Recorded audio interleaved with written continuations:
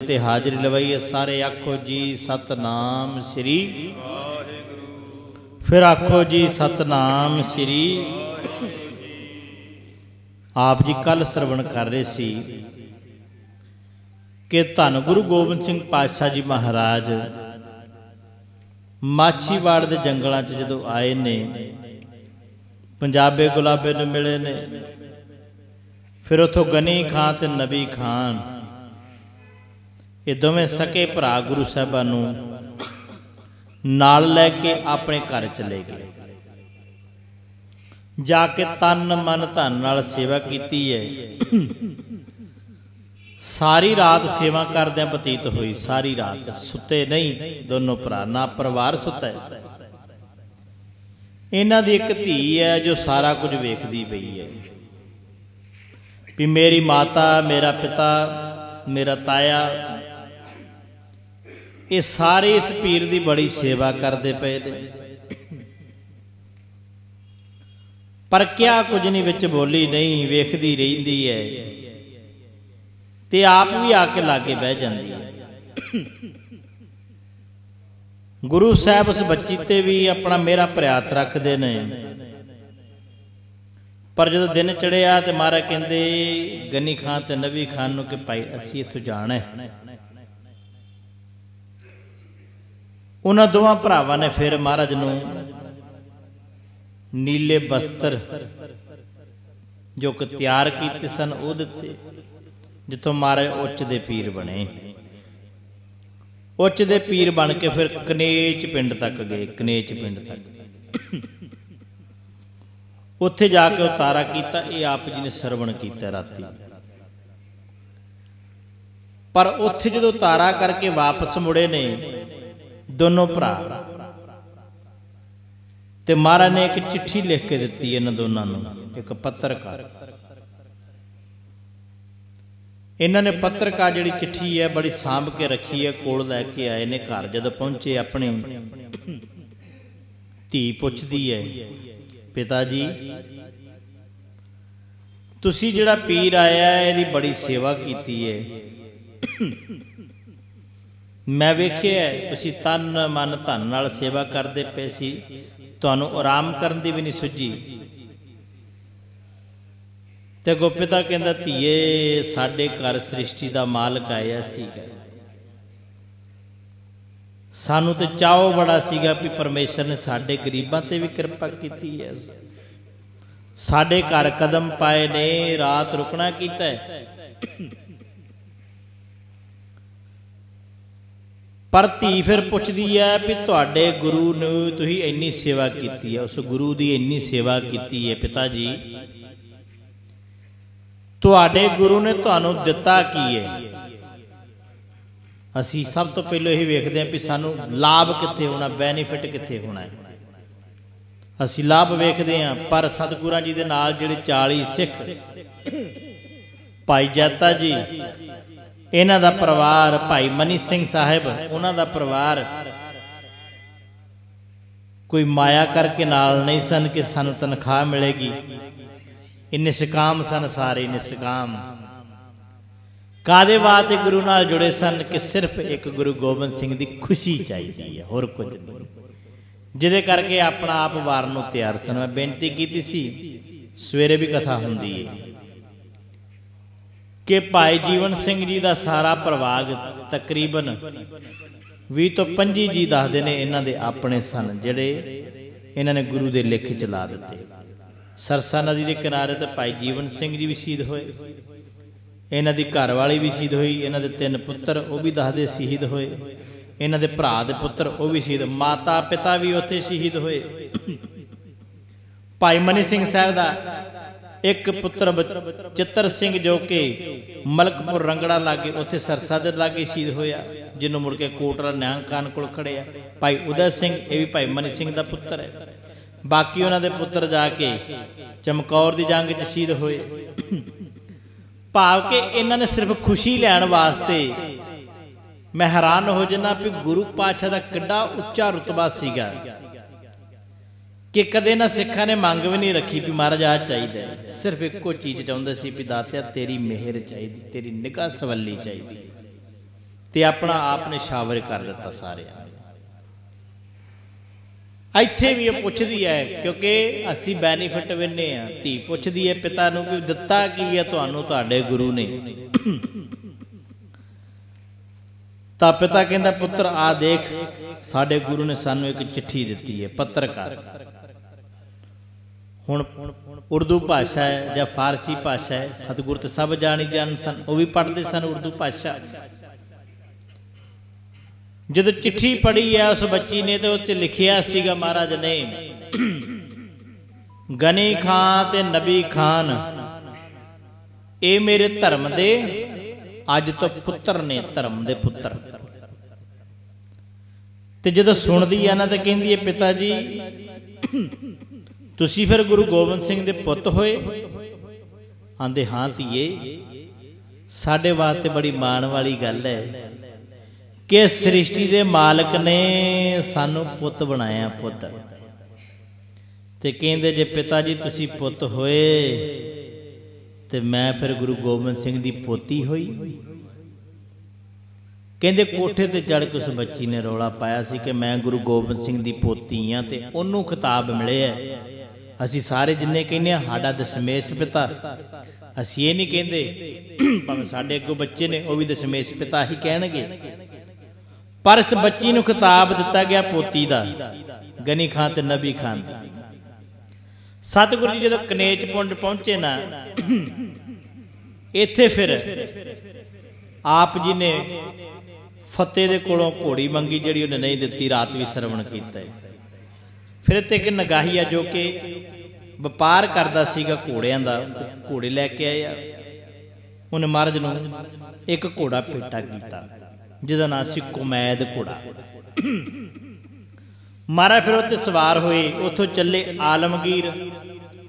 ਆਲਮਗੀਰ ਤੋਂ ਚੱਲਦਿਆਂ ਚੱਲਦਿਆਂ ਹੌਲੀ ਹੌਲੀ ਅੱਗੇ ਜਾਂਦਿਆਂ ਰਾਏ ਕੱਲੇ ਉੱਥੇ ਪਹੁੰਚੇ ਸਤਿਗੁਰੂ ਜੀ ਉੱਥੇ ਕੀ ਵੇਖਦੇ ਨੇ? ਸ਼ਾਮ ਦਾ ਵੇਲਾ ਥੋੜਾ ਜਿਹਾ ਮੱਝਾਂ ਚਾਰਨ ਵਾਲਾ ਇੱਕ ਨਗਰ ਦਾ। ਉਹ ਮੱਝਾਂ ਚਾਰ ਕੇ ਲਈ ਆਉਂਦਾ ਹੈ। ਤੇ ਮਹਾਰਾਜ ਨੂੰ ਕਹਿੰਦੇ ਨੇ, ਭਾਈ, ਅਸੀਂ ਦੁੱਧ ਛਕਣਾ ਹੈ। ਉਹਨੇ ਅੱਗੋਂ ਕਹਿ ਦਿੱਤਾ, ਜੀ, ਮੇਰੀਆਂ ਮੱਝਾਂ ਤੇ ਔਂਸਰਾਂ ਨੇ ਦੁੱਧ ਨਹੀਂ ਦਿੰਦੀਆਂ। ਹਾਂ, ਪਿੱਛੇ ਆਉਂਦਿਆ ਨੂਰਾ ਮਾਹੀ।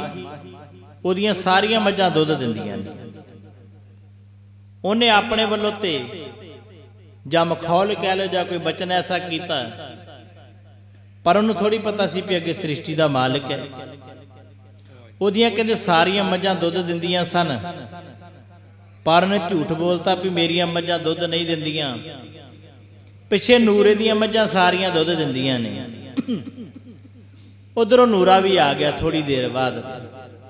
ਮਾਰੇ ਨੂੰ ਆਵਾਜ਼ ਦੇ ਕੇ ਕਹਿੰਦੇ ਉਹ ਨੂਰਿਆ ਅਸੀਂ ਦੁੱਧ ਛਕਣਾ ਹੈ। ਪਹਿਲੀ ਗੱਲ ਤੇ ਜਦੋਂ ਨੂਰੇ ਨੇ ਆਵਾਜ਼ ਸੁਣੀ ਨਾ, ਤੇ ਥੋੜਾ ਜਿਹਾ ਠੰਬਰ ਗਿਆ ਵੀ ਮੇਰੀ ਆਵਾਜ਼ ਲੈ ਕੇ ਮੈਨੂੰ ਆਵਾਜ਼ ਦੇ ਕੇ ਕੌਣ ਹੈਗਾ?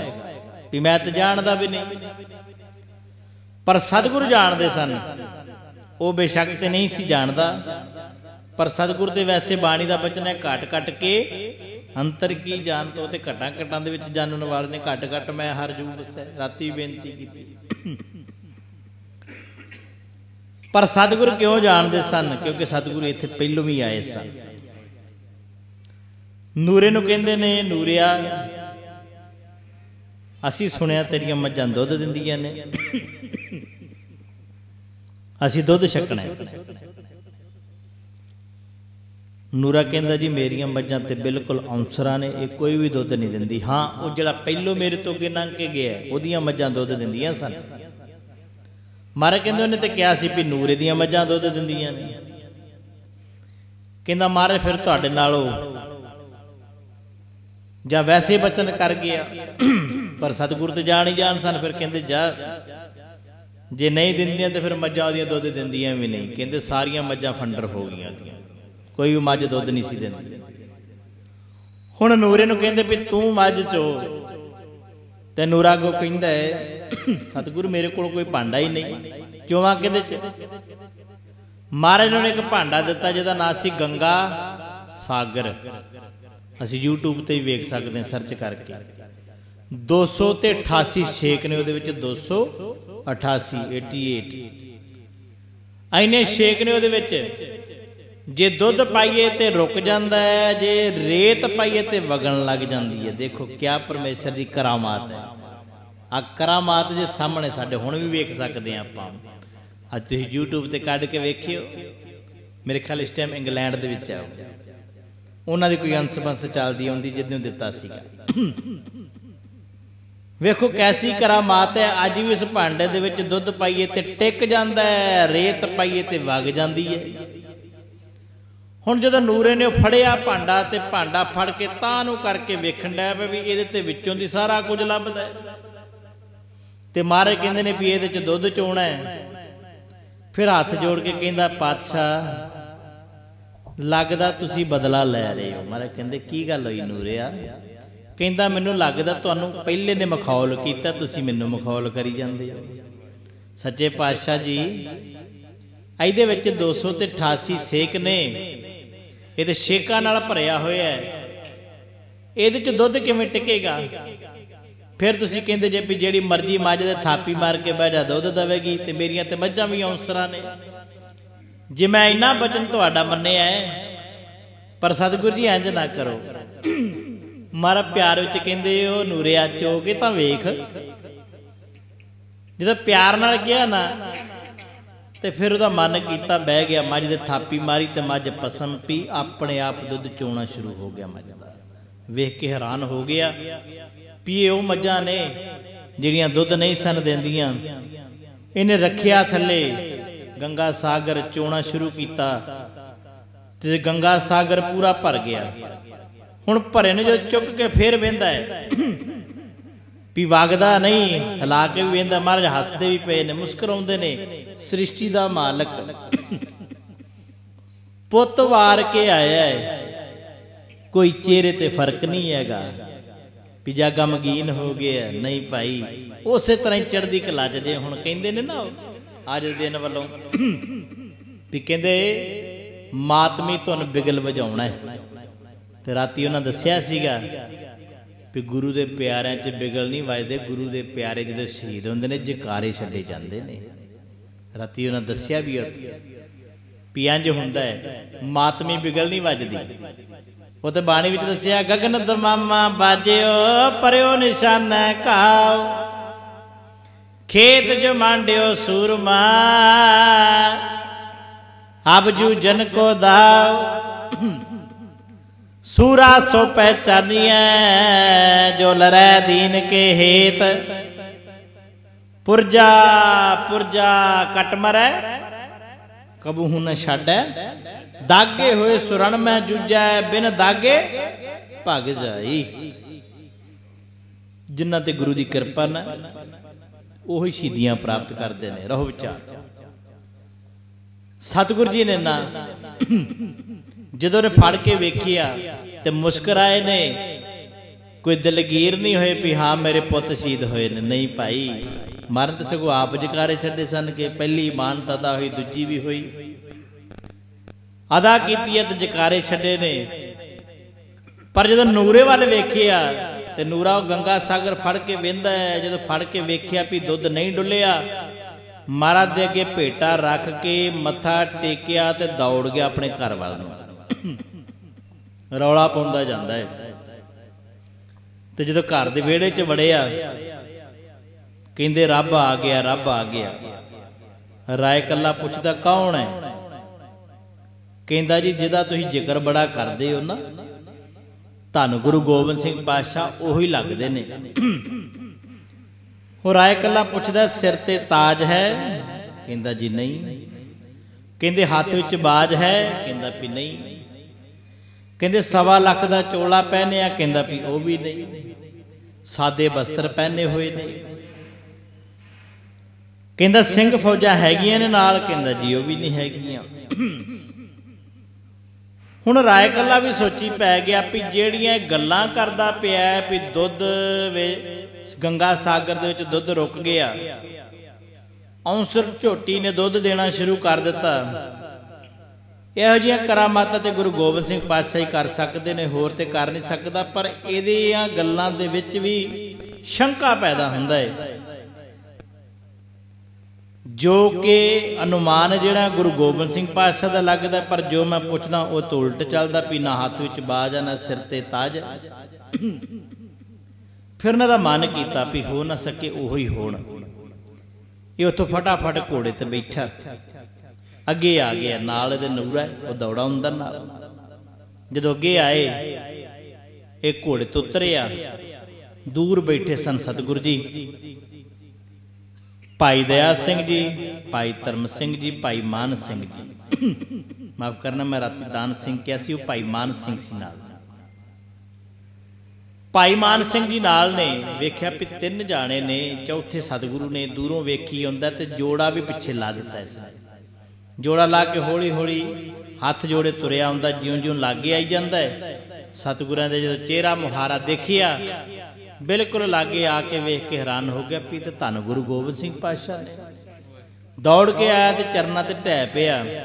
ਨਮਸਕਾਰ ਕੀਤੀ ਤੇ ਸਤਿਗੁਰੂ ਜੀ ਨੂੰ ਪੁੱਛਦਾ, ਸਤਿਗੁਰੂ ਜੀ, ਇਹ ਕੀ ਕੌਤਕ ਵਰਤਾਇਆ ਹੈ ਫਿਰ ਮਹਾਰਾਜ ਕਹਿੰਦੇ ਨੇ, ਫਿਰ ਦੱਸਣਾ ਕੀਤਾ ਕਿ ਮੇਰੇ ਦੋ ਪੁੱਤ ਚਮਕੌਰ ਦੀ ਜੰਗ 'ਚ ਸ਼ਹੀਦ ਹੋਏ ਨੇ। ਮੇਰੇ ਸਿੰਘ ਸੂਰਮੇ ਵੀ ਉੱਥੇ ਸ਼ਹੀਦ ਹੋਏ ਨੇ। ਆ ਸਿੰਘ ਮੇਰੇ ਨਾਲ ਨੇ। ਪੁੱਛਿਆ ਸਾਰੀ ਗੱਲ ਕਿਉਂ? ਕਿਉਂਕਿ ਇਹਦੀ ਧੀ ਦੇ ਵਿਆਹ ਦੇ ਵਿੱਚ ਧੰਨ ਗੁਰੂ ਗੋਬਿੰਦ ਸਿੰਘ ਪਾਤਸ਼ਾਹ ਕੋਟਲਾ ਨਿਹੰਗ ਖਾਨ, ਤੁਹਾਨੂੰ ਰਾਤੀ ਵੀ ਦੱਸਿਆ ਸੀ ਕਿ ਉਹਦਾ ਪੁੱਤਰ ਆਲਮ ਖਾਨ ਦਾ ਵਿਆਹ ਰਾਏ ਕੱਲੇ ਦੀ ਧੀ ਦੇ ਨਾਲ ਹੋਇਆ ਸੀ ਤੇ ਮਹਾਰਾਜ ਇੱਕ ਹਫ਼ਤਾ ਇੱਥੇ ਰਹੇ ਸੀ, ਜਿਹਦੇ ਕਰਕੇ ਉਹ ਜਾਣੂ ਸੀਗਾ। ਉਹਨੇ ਫਿਰ ਨਮਸਕਾਰ ਕਰਕੇ ਮਹਾਰਾਜ ਨੂੰ ਜਦੋਂ ਜਾਣਿਆ, ਫਿਰ ਕਹਿਣ ਲੱਗਾ, ਸਤਿਗੁਰੂ ਜੀ, ਘਰ ਚੱਲੀਏ। ਸਾਰੀ ਗੱਲ ਦਾ ਪਤਾ ਲੱਗਿਆ ਤੇ ਮਹਾਰਾਜ ਫਿਰ ਉੱਥੇ ਉਹਨੂੰ ਕਹਿੰਦੇ ਨੇ ਕਿ, ਰਾਏ ਕੱਲੇ ਮੇਰੀ ਮਾਤਾ ਤੇ ਮੇਰੇ ਦੋ ਪੁੱਤ, ਸਰਸਾ ਤੋਂ ਵਿਛੋੜਾ ਪਿਆ ਉਹ ਪਤਾ ਲੱਗਿਆ ਵੀ ਸਰਹੰਦ ਵੱਲ ਨੂੰ ਚੱਲੇ ਨੇ, ਪਤਾ ਕਰਕੇ ਦੱਸ। ਫਿਰ ਨੂਰਾ ਲਾ ਕੇ ਬੈਠਾ ਸੀ, ਕਹਿੰਦੇ ਜੀ ਨੂਰੇ ਦੀ ਭੈਣ ਵਿਆਹੀ ਹੋਈ ਹੈ ਉੱਥੇ, ਸਰਹੰਦ 'ਚ ਨੂਰੀ। ਇਹਨੂੰ ਹੀ ਭੇਜਦੇ ਆ, ਇਹ ਪਤਾ ਕਰਕੇ ਲਿਆਵੇਗਾ ਸਤਿਗੁਰੂ ਜੀ ਫਿਰ ਕਹਿੰਦੇ, ਰਾਏ ਕੱਲੇ ਦੇ ਘਰ ਚਲੇ ਗਏ। ਇੱਕ ਦੋ ਦਿਨ ਆਰਾਮ ਕੀਤਾ। ਨੂਰਾ ਉਥੋਂ ਚੱਲ ਕੇ ਸਰਹੰਦ ਆਇਆ। ਸਰਹੰਦ ਆ ਕੇ ਵੀ ਭੈਣ ਨੂੰ ਮਿਲਿਆ। ਭੈਣ ਨੂੰ ਜਦੋਂ ਆ ਕੇ ਮਿਲਿਆ ਤੇ ਭੈਣ ਕਹਿੰਦੀ, ਵੀਰਾ, ਤੂੰ ਕੀ ਕਰਨ ਆਇਆ? ਮਾਫ ਕਰਨਾ, ਜਦੋਂ ਭਰਾ ਭੈਣਾ ਕੋਲ ਜਾਵਣ ਨਾ, ਤੇ ਭੈਣਾ ਖੁਸ਼ ਹੁੰਦੀਆਂ ਨੇ ਕਿ ਸਾਡਾ ਵੀਰ ਆਇਆ ਹੈ, ਸਾਡਾ ਭਰਾ ਆਇਆ ਹੈ। ਆਨੇ ਬਹਾਨੇ ਕਿਸੇ ਨੂੰ ਦੱਸਣ ਕੀ ਆਵੀਂ ਵੀ ਸਾਡਾ ਵੀਰ ਆਇਆ ਸੀ, ਹੋ ਕੇ ਚਲੇ ਗਿਆ। ਪਰ ਇੱਥੇ ਉਲਟ ਹੋਣ ਡਿਆ, ਭੈਣ ਜਿਹੜੀ ਆ ਉਹ ਵੀਰ ਨੂੰ ਝਿੜਕਦੀ ਪਈ ਆ ਵੀ ਤੂੰ ਆਇਆ ਕਿਉਂ ਇੱਥੇ? ਕੀ ਕਰਨ ਆਇਆ ਬੜੇ ਪਿਆਰ ਨਾਲ ਨੂਰਾ ਪੁੱਛਦਾ, ਭੈਣਾ, ਕੀ ਗੱਲ ਹੈ? ਕਿਹੜੀ ਗੱਲ ਤੋਂ ਗੁੱਸੇ ਹੈ? ਤੇ ਫਿਰ ਦੱਸਦੀ ਹੈ ਰੋ ਕੇ ਕਹਿੰਦੀ, ਵੀਰਾ, ਸਾਡੇ ਸ਼ਹਿਰ 'ਚ ਕਹਿਰ ਹੋ ਗਿਆ। ਸਾਡੇ ਨਗਰ 'ਚ ਕਹਿਰ ਹੋ ਗਿਆ। ਛੋਟੇ ਛੋਟੇ ਮਾਸੂਮ ਬੱਚੇ ਜਿਨ੍ਹਾਂ ਨੂੰ ਨੀਹਾਂ ਦੇ ਵਿੱਚ ਚਿਣ ਕੇ ਸ਼ਹੀਦ ਕਰ ਦਿੱਤਾ ਹੈ। ਫਿਰ ਸਾਰੀ ਵਾਰਤਾ ਆਪਣੀ ਭੈਣ ਕੋਲੋਂ ਸਰਵਣ ਕਰਨ ਲੱਗਾ ਨੂਰਾ। ਦੱਸਿਆ, ਵੀਰ, ਸਰਸਾ ਨਦੀ ਦੇ ਕਿਨਾਰੇ ਤੇ ਜਦੋਂ ਵਿਛੋੜਾ ਪਿਆ ਤੇ ਧੰਨ ਮਾਤਾ ਗੁਜਰ ਕੌਰ ਜੀ। ਨਾਲ ਇਹਨਾਂ ਦੇ ਦੋ ਲਾਡਲੇ ਪੁੱਤਰ ਧੰਨ ਗੁਰੂ ਗੋਬਿੰਦ ਸਿੰਘ ਪਾਤਸ਼ਾਹ ਜੀ ਮਹਾਰਾਜ ਦੇ ਬਾਬਾ ਜੋਰਾਵਰ ਸਿੰਘ, ਧੰਨ ਧੰਨ ਬਾਬਾ ਫਤਿਹ ਸਿੰਘ। ਕਹਿੰਦੇ ਨਾਲ ਸਨ ਤੇ ਨਾਲ ਨਾਲ ਚੱਲਦੇ ਨੇ, ਕਹਿੰਦੇ ਨੇ ਖੱਚਰ ਤੇ ਬਿਠਾਇਆ ਸੀ, ਮਾਫ ਕਰਨਾ, ਮੈਂ ਇਤਿਹਾਸ ਪੜ੍ਹ ਰਿਹਾ ਸਾਂ। ਕਹਿੰਦੇ ਪਹਿਲੋ ਮਾਤਾ ਜੀ ਨੇ ਨਾ ਬਾਬਾ ਫਤਿਹ ਸਿੰਘ ਨੂੰ ਗੋਦ ਵਿੱਚ ਚੁੱਕਿਆ, ਇੱਕ ਹੱਥ ਦੇ ਨਾਲ ਖੱਚਰ ਫੜੀ ਹੋਈ ਹੈ, ਖੱਚਰ ਹੈ ਕੋਲ। ਵੇਖ ਕੇ ਮਾਤਾ ਜੀ ਹੈਰਾਨ ਵੀ ਹੁੰਦੇ ਨੇ। ਤੇ ਬਜ਼ੁਰਗ ਸਰੀਰ ਹੈ, ਕੋਈ 80 ਸਾਲ ਦੱਸਦਾ ਹੈ, ਕੋਈ 85 ਸਾਲ ਦੱਸਦਾ ਹੈ। ਹੁਣ ਬਜ਼ੁਰਗ ਸਰੀਰ ਹੈ, ਕਿੰਨਾ ਕੁ ਚਿਰ ਚੁੱਕਦੇ ਸਨ, ਇਹਨਾਂ ਨੇ ਦੂਜੇ ਬੱਚੇ ਨੂੰ ਵੀ ਖੱਚਰ ਤੇ ਬਿਠਾ ਦਿੱਤਾ। ਤੇ ਜਦੋਂ ਝਾਤੀ ਮਾਰਦੇ ਨੇ ਤੇ ਸੋਚਦੇ ਨੇ, ਕੋਈ ਸਮਾਂ ਸੀ, ਮੇਰੇ ਲਾਲ ਦੇ ਲਾਲ ਕਦੇ ਹਾਥੀਆਂ ਤੇ ਬਹਿ ਕੇ ਘੁੰਮਦੇ ਸੀ। ਅੱਜ ਖੱਚਰ ਤੇ ਬਿਠਾ ਕੇ ਖੜ ਰਹੀਆਂ। ਇਹ ਜਿਹੜੀ ਸਰਸਾ ਨਦੀ ਹੈ ਨਾ, ਇਹ ਸਤਲੁਜ ਦਰਿਆ ਦੇ ਵਿੱਚ ਪੈਂਦੀ ਹੈ। ਮਾਫ ਕਰਨਾ, ਉੱਥੇ ਅੱਗੇ ਜਾ ਕੇ ਪੱਤਣ ਪੈਂਦਾ ਜੀ। ਇਹ ਹੌਲੀ ਹੌਲੀ ਕਰਦਿਆਂ ਲੈ ਕੇ ਉੱਥੇ ਤੱਕ ਪਹੁੰਚੇ। ਤੇ ਅੱਗੇ ਵੇਖਿਆ ਕਿ ਪੱਤਣ ਆ ਗਿਆ ਉੱਥੇ ਫਿਰ ਇੱਕ ਗਰੀਬ, ਤੁਹਾਨੂੰ ਪਤਾ ਜਿਹਦਾ ਨਾਂ ਸੀ ਕੁਮਾ ਮਾਸਕੀ। ਇਹਨੇ ਵੇਖਿਆ ਦੂਰੋਂ ਕਿ ਕੋਈ ਬਜ਼ੁਰਗ ਮਾਤਾ ਤੇ ਨਾਲ ਲਾਲ ਤੁਰੇ ਆਉਂਦੇ ਨੇ। ਇਹਦਾ ਨਾਂ ਪਹਿਲੋ ਕਰੀਮ ਬਖਸ਼ੀ। ਵੈਸੇ ਤੇ ਇਹਦਾ ਨਾਂ ਅਸਲ ਕਰਮ ਚੰਦ ਸੀਗਾ। ਮੁਸਲਮਾਨ ਬਣਿਆ ਤੇ ਕਰੀਮ ਬਖਸ਼ ਬਣ ਗਿਆ ਤੇ ਛੋਟਾ ਨਾਂ ਦਾ ਕੁਮਾ ਮਾਸਕੀ ਕਹਿ ਕੇ ਬੁਲਾਉਂਦੇ ਸੀ ਇਹਨੇ ਜਦੋਂ ਵੇਖਿਆ, ਮਾਤਾ ਜੀ ਨੂੰ ਵੇਖਿਆ, ਛੋਟੇ ਸਾਹਿਬਜ਼ਾਦਿਆਂ ਨੂੰ ਵੇਖਿਆ, ਤੇ ਵੇਖ ਕੇ ਕਹਿੰਦਾ, ਮੈਨੂੰ ਸ਼ੱਕ ਪੈਂਦਾ ਕਿ ਤੁਸੀਂ ਧੰਨ ਗੁਰੂ ਗੋਬਿੰਦ ਸਿੰਘ ਪਾਤਸ਼ਾਹ ਜੀ ਦੇ ਮਾਤਾ ਜੀ ਹੋ।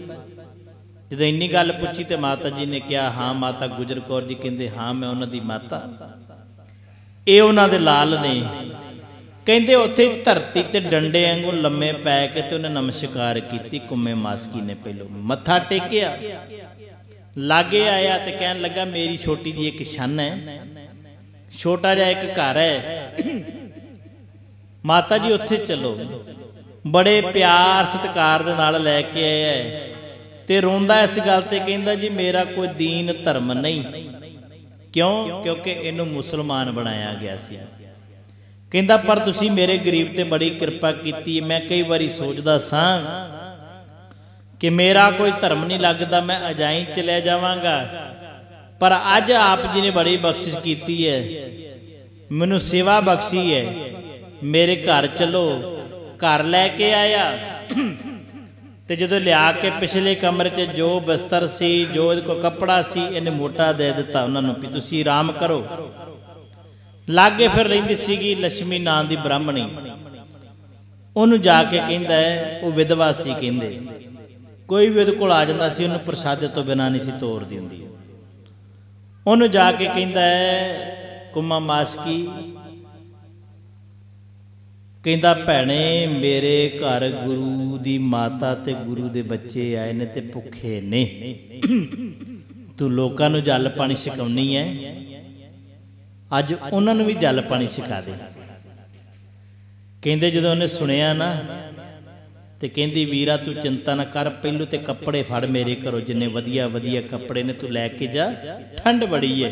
ਉਹਨਾਂ ਨੂੰ ਦੇ ਜਾ ਕੇ ਪੰਡ ਬਣ ਕੇ ਕੱਪੜਿਆਂ ਦੀ ਤੋਰੀ ਤੇ ਫਿਰ ਕਹਿੰਦੀ, ਮੈਂ ਪ੍ਰਸ਼ਾਦਾ ਪਾਣੀ ਤਿਆਰ ਕਰਦੀ ਆ। ਤੂੰ ਗਰਮ ਗਰਮ ਪ੍ਰਸ਼ਾਦਾ ਮਾਤਾ ਜੀ ਤੇ ਉਹਨਾਂ ਦੇ ਪੋਤਰਿਆਂ ਨੂੰ ਛਕਾਉਣਾ ਕਰ। ਇਹਨੇ ਫਿਰ ਗਰਮ ਗਰਮ ਪ੍ਰਸ਼ਾਦਾ ਤਿਆਰ ਕੀਤਾ। ਮਸਰਾਂ ਦੀ ਦਾਲ ਦੇ ਨਾਲ ਇਹਨੇ ਪ੍ਰਸ਼ਾਦਾ ਤਿਆਰ ਕੀਤਾ। ਜੋ ਕਿ ਕੁੰਮੇ ਮਾਸਕੀ ਨੇ। ਮਾਤਾ ਜੀ ਨੇ ਛਕਾਉਣਾ ਕੀਤਾ, ਬੱਚਿਆਂ ਨੂੰ ਛਕਾਉਣਾ ਕੀਤਾ। ਥੋੜੀ ਜੀ ਅੱਗ ਬਾਲ ਦਿੱਤੀ ਲਾਗੇ ਕਿ ਰਾਤ ਨਿਗ ਵੀ ਰਹੇ, ਪਰ ਆਪ ਹੀ ਕੁਮਾ ਮਾਸਕੀ ਬਸਤਰ ਲੈ ਕੇ, ਛੋਟੇ ਮੋਟੇ ਕੱਪੜੇ ਲੈ ਕੇ, ਕਹਿੰਦੇ ਬਾਹਰ ਇੱਕ ਦਰਖਤ ਦੇ ਨਾਲ ਲੱਗ ਕੇ ਢੇਸਣਾ ਲਾ ਕੇ ਉਹਦੇ ਲਾਗੇ ਬਹਿ ਗਿਆ। ਹੁਣ ਬਹਿ ਤੇ ਗਿਆ ਪਰ ਜਦੋਂ ਥੋੜੀ ਜੀ ਰਾਤ ਹੋਈ ਤੇ ਇਹਦੇ ਰੋਣ ਦੀਆਂ ਆਵਾਜ਼ਾਂ ਆਉਣ ਲੱਗ ਪਈਆਂ, ਸਿਸਕੀਆਂ ਲਈ ਜਾਂਦਾ ਹੈ ਤੇ ਸੋਚੀ ਜਾਂਦਾ ਹੈ, ਸ੍ਰਿਸ਼ਟੀ ਦੇ ਮਾਲਕ ਧੰਨ ਗੁਰੂ ਗੋਬਿੰਦ ਸਿੰਘ ਪਾਤਸ਼ਾਹ ਜੀ ਮਹਾਰਾਜ, ਉਹਨਾਂ ਦੀ ਮਾਤਾ ਇਸ ਹਾਲਤ ਵਿੱਚ, ਉਹਨਾਂ ਦੇ ਲਾਲ ਇਸ ਹਾਲਤ ਵਿੱਚ ਨੇ ਤੇ ਕਹਿੰਦੇ ਇਹਨਾਂ ਨੂੰ ਵੈਰਾਗ ਆਇਆ।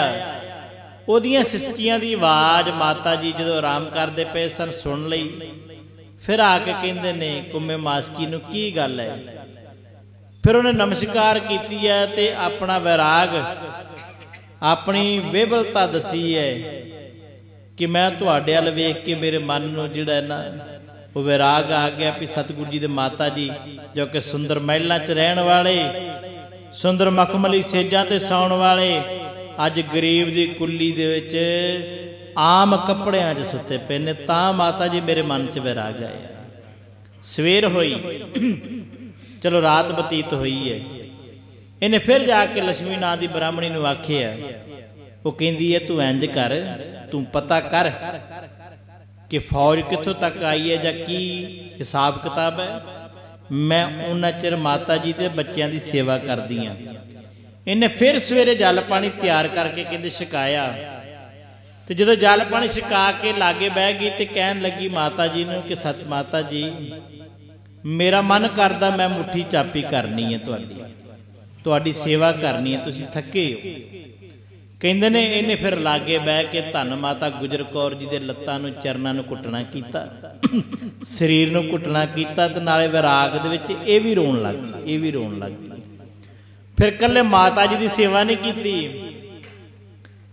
ਇਹਨੇ ਛੋਟੇ ਸਾਹਿਬਜ਼ਾਦਿਆਂ ਦੇ ਵੀ ਚਰਨ ਕੁੱਟੇ ਇਸ ਨਰਸੀ ਨਾਂ ਦੀ ਬ੍ਰਾਹਮਣੀ ਨੇ ਭਾਕ ਲక్ష్ਮੀ ਨਾਂ ਦੀ ਬ੍ਰਾਹਮਣੀ ਨੇ।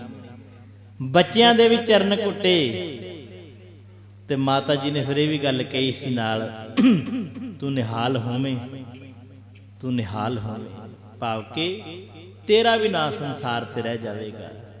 ਵੇਖੋ, ਪਤਾ ਨਹੀਂ ਕਿੱਥੇ ਕਿੱਥੇ ਕਿਹੜਾ ਟੱਕਰੇ ਹੈ ਪਰ ਕੁਮਾ ਮਾਸਕੀ ਤੇ ਲక్ష్ਮੀ ਨਾਂ ਦੀ ਬ੍ਰਾਹਮਣੀ, ਜਿਨ੍ਹਾਂ ਦੇ ਕੋਲ ਸਤਿਗੁਰਾਂ ਜੀ ਦੇ ਮਾਤਾ ਜੀ ਤੇ ਬੱਚੇ ਇੱਕ ਰਾਤ ਰਹੇ, ਇਹਨਾਂ ਨੇ ਸੇਵਾ ਕੀਤੀ।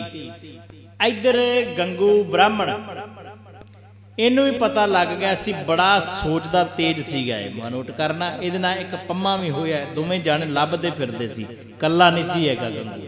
ਵਿਦਵਾਨਾਂ ਨੇ ਦੱਸਿਆ। ਇਹ ਭਾਲਦੇ ਫਿਰਦੇ ਨੇ ਵੀ ਸ਼ਾਇਦ ਮਾਤਾ ਜੀ ਕੋਲ ਕਿਉਂਕਿ ਇਹਨੂੰ ਕਿਸੇ ਨੇ ਦੱਸ ਦਿੱਤਾ ਵੀ ਆਹ ਕੁਝ ਵਾਪਰਿਆ ਇਹਦੇ ਮਨ 'ਚ ਇਹ ਸੀਗਾ ਕਿ ਮਾਤਾ ਜੀ ਕੋਲ ਮਾਇਆ ਬੜੀ ਹੁੰਦੀ ਹੈ। ਇਹ ਪਹਿਲੋਂ ਕਹਿੰਦੇ ਲਾਲਚੀ ਸੁਭਾਅ ਦੇ ਨਾਲ ਚੱਲ ਕੇ ਆਏ ਆ। ਇਹ ਪੁੱਛਦੇ ਆ ਪੁੱਛਦੇ ਆ ਨਾ ਕੁੰਮੇ ਮਾਸਕੀ ਨੂੰ ਮਿਲੇ ਤੇ ਕੁੰਮੇ ਮਾਸਕੀ ਨੂੰ ਪੁੱਛਦੇ, ਤੂੰ ਕਿਸੇ ਨੂੰ ਵੇਖਿਆ ਤਾਂ ਨਹੀਂ? ਗੁਰੂ ਗੋਬਿੰਦ ਸਿੰਘ ਪਾਤਸ਼ਾਹ ਦੇ ਜਾਂ ਬੱਚੇ ਜਾਂ ਮਾਤਾ ਨੂੰ ਤੇ ਕਹਿੰਦੇ, ਕੁੰਮੇ ਮਾਸਕੀ ਨੇ ਕੋਈ ਜਵਾਬ ਦਿੱਤਾ ਵੀ ਤੂੰ ਕੀ ਲੈਣਾ ਪੁੱਛ ਕੇ? ਤੂੰ ਕੀ ਲੈਣਾ ਹੈ? ਕਹਿੰਦੇ ਨੂੰ ਕੜਵਾ ਜਵਾਬ ਦਿੱਤਾ। ਤੇ ਫਿਰ ਅੱਗੋਂ ਗੰਗੂ ਬ੍ਰਾਹਮਣ ਕਹਿੰਦਾ, ਨਹੀਂ, ਮੇਰਾ ਫਰਜ਼ ਬਣਦਾ ਹੈ। ਮੈਂ ਤਾਂ ਪੁੱਛਦਾ ਕਿਉਂਕਿ ਮੈਂ ਉਹਨਾਂ ਦੇ ਘਰ ਦਾ ਰਸੋਈਆ ਰਿਹਾ। ਉਹਨਾਂ ਦੇ ਘਰ ਦਾ ਨਮਕ ਖਾਦਾ ਮੈਂ। ਮੈਂ ਤਾਂ ਕਰਕੇ ਪੁੱਛਦਾ ਪਿਆ। ਕਹਿੰਦਾ, ਅੱਛਾ, ਇਹ ਗੱਲ ਹੈ। ਪਰ ਉਹਨੂੰ ਥੋੜੀ ਪਤਾ ਸੀ ਵੀ ਅੰਦਰ ਦੀ ਰਣਨੀਤੀ ਕੀ ਹੈ ਇਹਦੀ। ਅੰਦਰ ਇਹਦੇ ਕੀ ਚੱਲਦਾ ਹੈ? ਕਹਿੰਦੇ, ਪੁੱਛ ਕੇ ਕਹਿੰਦਾ, ਫਿਰ ਤੁਸੀਂ ਰੁਕੋ ਇੱਥੇ। ਜਾ ਕੇ ਸਿੱਧਾ ਨਹੀਂ ਘਰ ਖੜਿਆ। ਜਾ ਕੇ ਮਾਤਾ ਜੀ ਨੂੰ ਮਿਲਿਆ ਕੁਮਾ ਮਾਸਕੀ। ਮਾਤਾ ਜੀ ਨੂੰ ਨਮਸਕਾਰ ਕਰਕੇ ਕਹਿੰਦਾ, ਮਾਤਾ ਜੀ, ਇਸ ਤਰ੍ਹਾਂ ਕੋਈ ਗੰਗੂ ਨਾਂ ਦਾ ਬ੍ਰਾਹਮਣ ਆਇਆ ਹੈ। ਤੁਸੀਂ ਜਾਣਦੇ ਹੋ? ਮਾਤਾ ਜੀ ਕਹਿੰਦੇ, ਹਾਂ, ਜਾਣਦੇ ਆ ਸਾਡੇ ਘਰ ਦਾ ਹੀ ਸੇਵਾਦਾਰ ਹੈ। ਕੋਈ ਨਹੀਂ ਲੈ ਆ ਉਹਨੂੰ ਆਵਾਜ਼ ਦਿੱਤੀ। ਆਵਾਜ਼ ਦਿੱਤੀ ਤੇ ਦੋਵੇਂ ਜਾਣੇ ਆਏ। ਮਾਤਾ ਜੀ ਨੂੰ ਆ ਕੇ ਮਿਲੇ। ਝੂਠੀਆਂ ਨਮਸਕਾਰਾਂ ਵੀ ਕੀਤੀਆਂ, ਸਤਕਾਰ ਵੀ ਕੀਤਾ। ਫਿਰ ਕਹਿੰਦੇ ਨੇ ਜਦੋਂ ਉਹਨੇ ਵੇਖਿਆ ਨਾ, ਕਿਉਂਕਿ ਉਹਨੂੰ ਪਤਾ ਸੀ ਕਿ ਮਾਤਾ ਜੀ ਕੋਲ ਮਾਇਆ ਬੜੀ ਹੁੰਦੀ ਹੈ ਉਹਦਾ ਧਿਆਨ ਮਾਇਆ ਦੀ ਖੁੱਜੀ ਵੱਲ ਸੀਗਾ ਕਿ ਮਾਇਆ ਦੀ ਖੁੱਜੀ ਕੋਲ ਹੈ। ਹੁਣ ਕਹਿੰਦੇ ਨੇ ਉਹਨੇ ਘੋੜੇ ਦੋ ਲਿਆਂਦੇ ਸੀਗੇ। ਕਹਿੰਦਾ ਜੀ, ਤੁਸੀਂ ਇੰਜ ਕਰੋ, ਮੇਰਾ ਵੀ ਕੁਝ ਫਰਜ਼ ਬਣਦਾ ਹੈ, ਮੈਂ ਤੁਹਾਡੇ ਘਰ ਦਾ ਨਮਕ ਖਾਦਾ ਮੇਰੇ ਘਰ ਚੱਲੋ। ਮੈਨੂੰ ਪਤਾ ਲੱਗਿਆ ਵੀ ਚਮਕੌਰ ਦੀ ਗਲੀ ਦੇ ਵਿੱਚ ਤੁਰਕਾਂ ਨੇ ਬੜਾ ਘੇਰਾ ਪਾਇਆ ਹੋਇਆ ਹੈ। ਜਦੋਂ ਤੁਰਕ ਆਪਣੇ ਘਰ ਜਾਣਗੇ, ਫਿਰ ਮੈਂ ਤੁਹਾਨੂੰ ਤੁਹਾਡੇ ਘਰ ਪਹੁੰਚਾ ਦੇਵਾਂਗਾ ਤੁਹਾਡੇ ਲਾਲ ਨਾਲ ਮਿਲਾ ਦੇਵਾਂਗਾ ਮਾਤਾ ਕਹਿੰਦੇ, ਜੇ ਤੂੰ ਮੇਰੇ ਲਾਲ ਨਾਲ ਮਿਲਾ ਦੇਵੇਂ ਤੇ ਇਹਦੇ ਤੋਂ ਵੱਡਾ ਪੁੰਨ ਕੋਈ ਨਹੀਂ, ਤੂੰ ਵੀ ਨਿਹਾਲ ਹੋਵੇਂਗਾ। ਮਾਤਾ ਜੀ ਨੇ ਵੀ ਗੱਲ ਕਹੀ ਵੀ ਜੇ ਤੂੰ ਇਹ ਕੁਝ ਕਰੇਂਗਾ ਤੇ ਤੂੰ ਵੀ ਨਿਹਾਲ ਹੋਵੇਂਗਾ। ਪਰ ਕੀ ਹੋਇਆ? ਇਹਨੇ ਬਿਠਾ ਤੇ ਲਿਆ। ਕਹਿੰਦੇ ਨੇ ਉਸ ਵੇਲੇ ਦੁਨਾ ਸਿੰਘ ਹੰਡੂਰੀਆ ਜਿਹੜਾ ਸੀ ਨਾ, ਇਹ ਮਹਾਰਾਜ ਦੇ ਨਾਲ ਇੱਥੋਂ ਤੱਕ ਰਿਹਾ ਜਿਹਦੀਆਂ ਲਿਖਤਾਂ ਮੈਂ ਹੁਣ ਬੋਲਣ ਲੱਗਾ। ਕਹਿੰਦੇ ਜੁਰਾਵਰ ਸਿੰਘ, ਮਾਤਾ ਗੁਜਰ ਕੌਰ ਤੇ ਜੁਰਾਵਰ ਸਿੰਘ, ਏਕ ਘੋੜੇ ਪੈ ਚੜਾਏ ਮਾਤਾ ਗੁਜਰੀ ਜੀ ਤੇ ਮਾਫ ਕਰਨਾ ਫਤਿਹ ਸਿੰਘ, ਏਕ ਘੋੜੇ ਪੈ ਚੜਾਏ ਕਿਉਂਕਿ ਛੋਟਾ ਸੀਗਾ, ਉਹਨੂੰ ਇੱਕ ਘੋੜੇ ਤੇ ਬਿਠਾ ਦਿੱਤਾ। ਜੁਰਾਵਰ ਸਿੰਘ ਪਾਏ ਖੁਰਜੀ, ਅਵਰ ਘੋੜੇ ਪੈ ਚੜਾਏ ਬਾਬਾ ਜੋਰਾਵਰ ਸਿੰਘ ਦੇ ਕੋਲ ਮਾਇਆ ਦੀ ਖੁੱਜੀ ਸੀਗੀ, ਉਹਨੂੰ ਦੂਜੇ ਘੋੜੇ ਤੇ ਚੜਾ ਦਿੱਤਾ। ਤੇ ਫੜ ਕੇ ਤੁਰਿਆ ਜਾਂਦਾ ਹੈ। ਤੁਰਿਆ ਜਾਂਦਾ, ਹੁਣ ਮਨਸੂਬੇ ਘਟਦਾ ਜਾਂਦਾ ਵੀ ਮਾਇਆ ਬੜੀ ਹੈ, ਕੋਲ ਕਿਸੇ ਤਰ੍ਹਾਂ ਕਾਬੂ ਕਰ ਲਈਏ। ਪਰ ਹੁਣ ਮੈਂ ਸੁਣਦਾ ਸੀਗਾ, ਕਹਿੰਦੇ ਨੇ ਇਹ ਆਪਣੇ ਘਰ ਖੜ ਕੇ ਰਾਜੀ ਨਹੀਂ ਸੀ ਹੈਗਾ। ਇਹਦਾ ਮਨ ਸੀਗਾ ਵੀ ਮੈਂ ਰਸਤੇ 'ਚ ਹੀ ਮਾਇਆ ਕਿਸੇ ਤਰ੍ਹਾਂ ਲੁੱਟ ਲਵਾਂ ਤੇ ਇਹਨਾਂ ਨੂੰ ਛੱਡ ਦਿਆਂ। ਪਰ ਇਹਦੇ ਵੇਚ ਨਾ ਜਾਣ ਕਰਕੇ ਇਹਨੇ ਆਪਣੇ ਪਿੰਡ ਦੇ ਦੋ ਚੱਕਰ ਲਾਏ। ਕਹਿੰਦੇ ਆਪਣੇ ਪਿੰਡ ਦੇ ਮਾਤਾ ਜੀ ਨੂੰ ਸਿੱਧਾ ਘਰ ਨਹੀਂ ਖੜੇ ਆ ਪਿੰਡ ਦੇ ਦੋ ਚੱਕਰ ਲਾ ਕੇ ਫਿਰ ਬਾਹਰ ਬਿਠਾ ਦਿੱਤਾ ਤੇ ਕਹਿਣ ਲੱਗਾ, ਮੈਂ ਆਪਣੇ ਘਰ ਵੇਖ ਆਵਾਂ ਕਿਉਂਕਿ ਮੈਂ ਤੁਹਾਡੇ ਘਰ ਦਾ ਸੇਵਾਦਾਰ ਆ, ਕਿਤੇ ਮੇਰੇ ਘਰ ਤੇ ਤੇ ਨਹੀਂ ਫੌਜ ਪੈ ਗਈ। ਮਾਤਾ ਜੀ, ਮੇਰੀ ਕੋਈ ਗੱਲ ਨਹੀਂ, ਤੁਹਾਡਾ ਕੋਈ ਨੁਕਸਾਨ ਨਹੀਂ ਹੋਣਾ ਚਾਹੀਦਾ। ਵੇਖੋ, ਇੰਨਾ ਸ਼ਾਤਰ ਦਿਮਾਗ ਸੀਗਾ ਇਹ ਘਰ ਗਿਆ, ਜਦੋਂ ਵੇਖਿਆ ਇਹਦੀ ਪੇਸ਼ ਨਾ ਗਈ ਫਿਰ ਇਹਨੂੰ ਅੱਧੀ ਰਾਤ ਨੂੰ ਹਨੇਰੇ ਪਈ ਆ ਕੇ ਮਾਤਾ ਗੁਜਰ ਕੌਰ ਜੀ ਤੇ ਛੋਟੇ ਸਾਹਿਬਜ਼ਾਦਿਆਂ ਨੂੰ ਆਪਣੇ ਘਰ ਲੈ ਆਇਆ। ਉਹ ਸਾਰਾ ਕੁਝ ਨਾ ਦੁਨਾ ਸਿੰਘ ਹੰਡੂਰੀਆ ਨੇ ਲਿਖਿਆ ਮਾਤਾ ਜੀ ਨੂੰ ਕਹਿੰਦਾ ਸੀ ਕਿ ਮੈਨੂੰ ਪਤਾ ਲੱਗਾ ਫੌਜ ਆਈ ਹੈ ਤੇ ਫਿਰ ਮੈਂ ਤੁਹਾਨੂੰ ਤੁਹਾਡੇ ਘਰ ਪਹੁੰਚਾਵਾਂਗਾ। ਇਮ ਕਹਿ ਕੇ ਕਰ ਲੈ ਆਇਓ, ਕਹਿੰਦੇ ਜਬ ਹੀ ਤੁਰਕ ਆਪਣੇ ਗ੍ਰਹਿ ਜਾਵੇ ਜਦੋਂ ਫੌਜਾਂ ਆਪਣੇ ਘਰਾਂ ਨੂੰ ਜਾਣਗੀਆਂ ਚਮਕੌਰ ਤੋਂ, ਤਬ ਹਮ ਤਾਂ ਕੋ ਘਰ ਪਹੁੰਚਾਵੇ। ਕਹਿੰਦਾ, ਫਿਰ ਮੈਂ ਤੁਹਾਨੂੰ ਤੁਹਾਡੇ ਘਰ, ਤੁਹਾਡੇ ਪੁੱਤਰ ਦੇ ਨਾਲ ਮਿਲਾ ਦਿਆਂਗਾ। ਇਮ ਕਹਿ ਕੇ ਘਰ ਲੈ ਆਇਓ। ਪਈ ਰਹਿਣ ਪ੍ਰਸ਼ਾਦ ਕਰਾਇਓ। ਇੰਜ ਕਹਿ ਕੇ ਆਪਣੇ ਘਰ ਲੈ ਆਇਆ। ਤੇ ਰਾਤ ਹੋਈ ਹੈ ਤੇ ਮਾਂ ਆਪਣੀ ਨੂੰ ਕਹਿੰਦਾ, ਜਿਹਦਾ ਨਾਂ ਸੀ ਸੋਭੀ। ਕਹਿੰਦਾ, ਮਾਂ, ਪ੍ਰਸ਼ਾਦਾ ਤਿਆਰ ਕਰ। ਗੁਰੂ ਦੀ ਮਾਤਾ ਤੇ ਗੁਰੂ ਦੇ ਬੱਚੇ ਆਏ ਨੇ। ਕਹਿੰਦੇ ਜਦੋਂ ਉਹਨੂੰ ਪਤਾ ਲੱਗਾ ਨਾ, ਉਹ ਬਾਹਰ ਆਈ ਤੇ ਆ ਕੇ ਮਾਤਾ ਗੁਜਰ ਕੌਰ ਜੀ ਦੇ ਨਮਸਕਾਰ ਕੀਤੀ ਚਰਨਾਂ ਦੇ ਵਿੱਚ।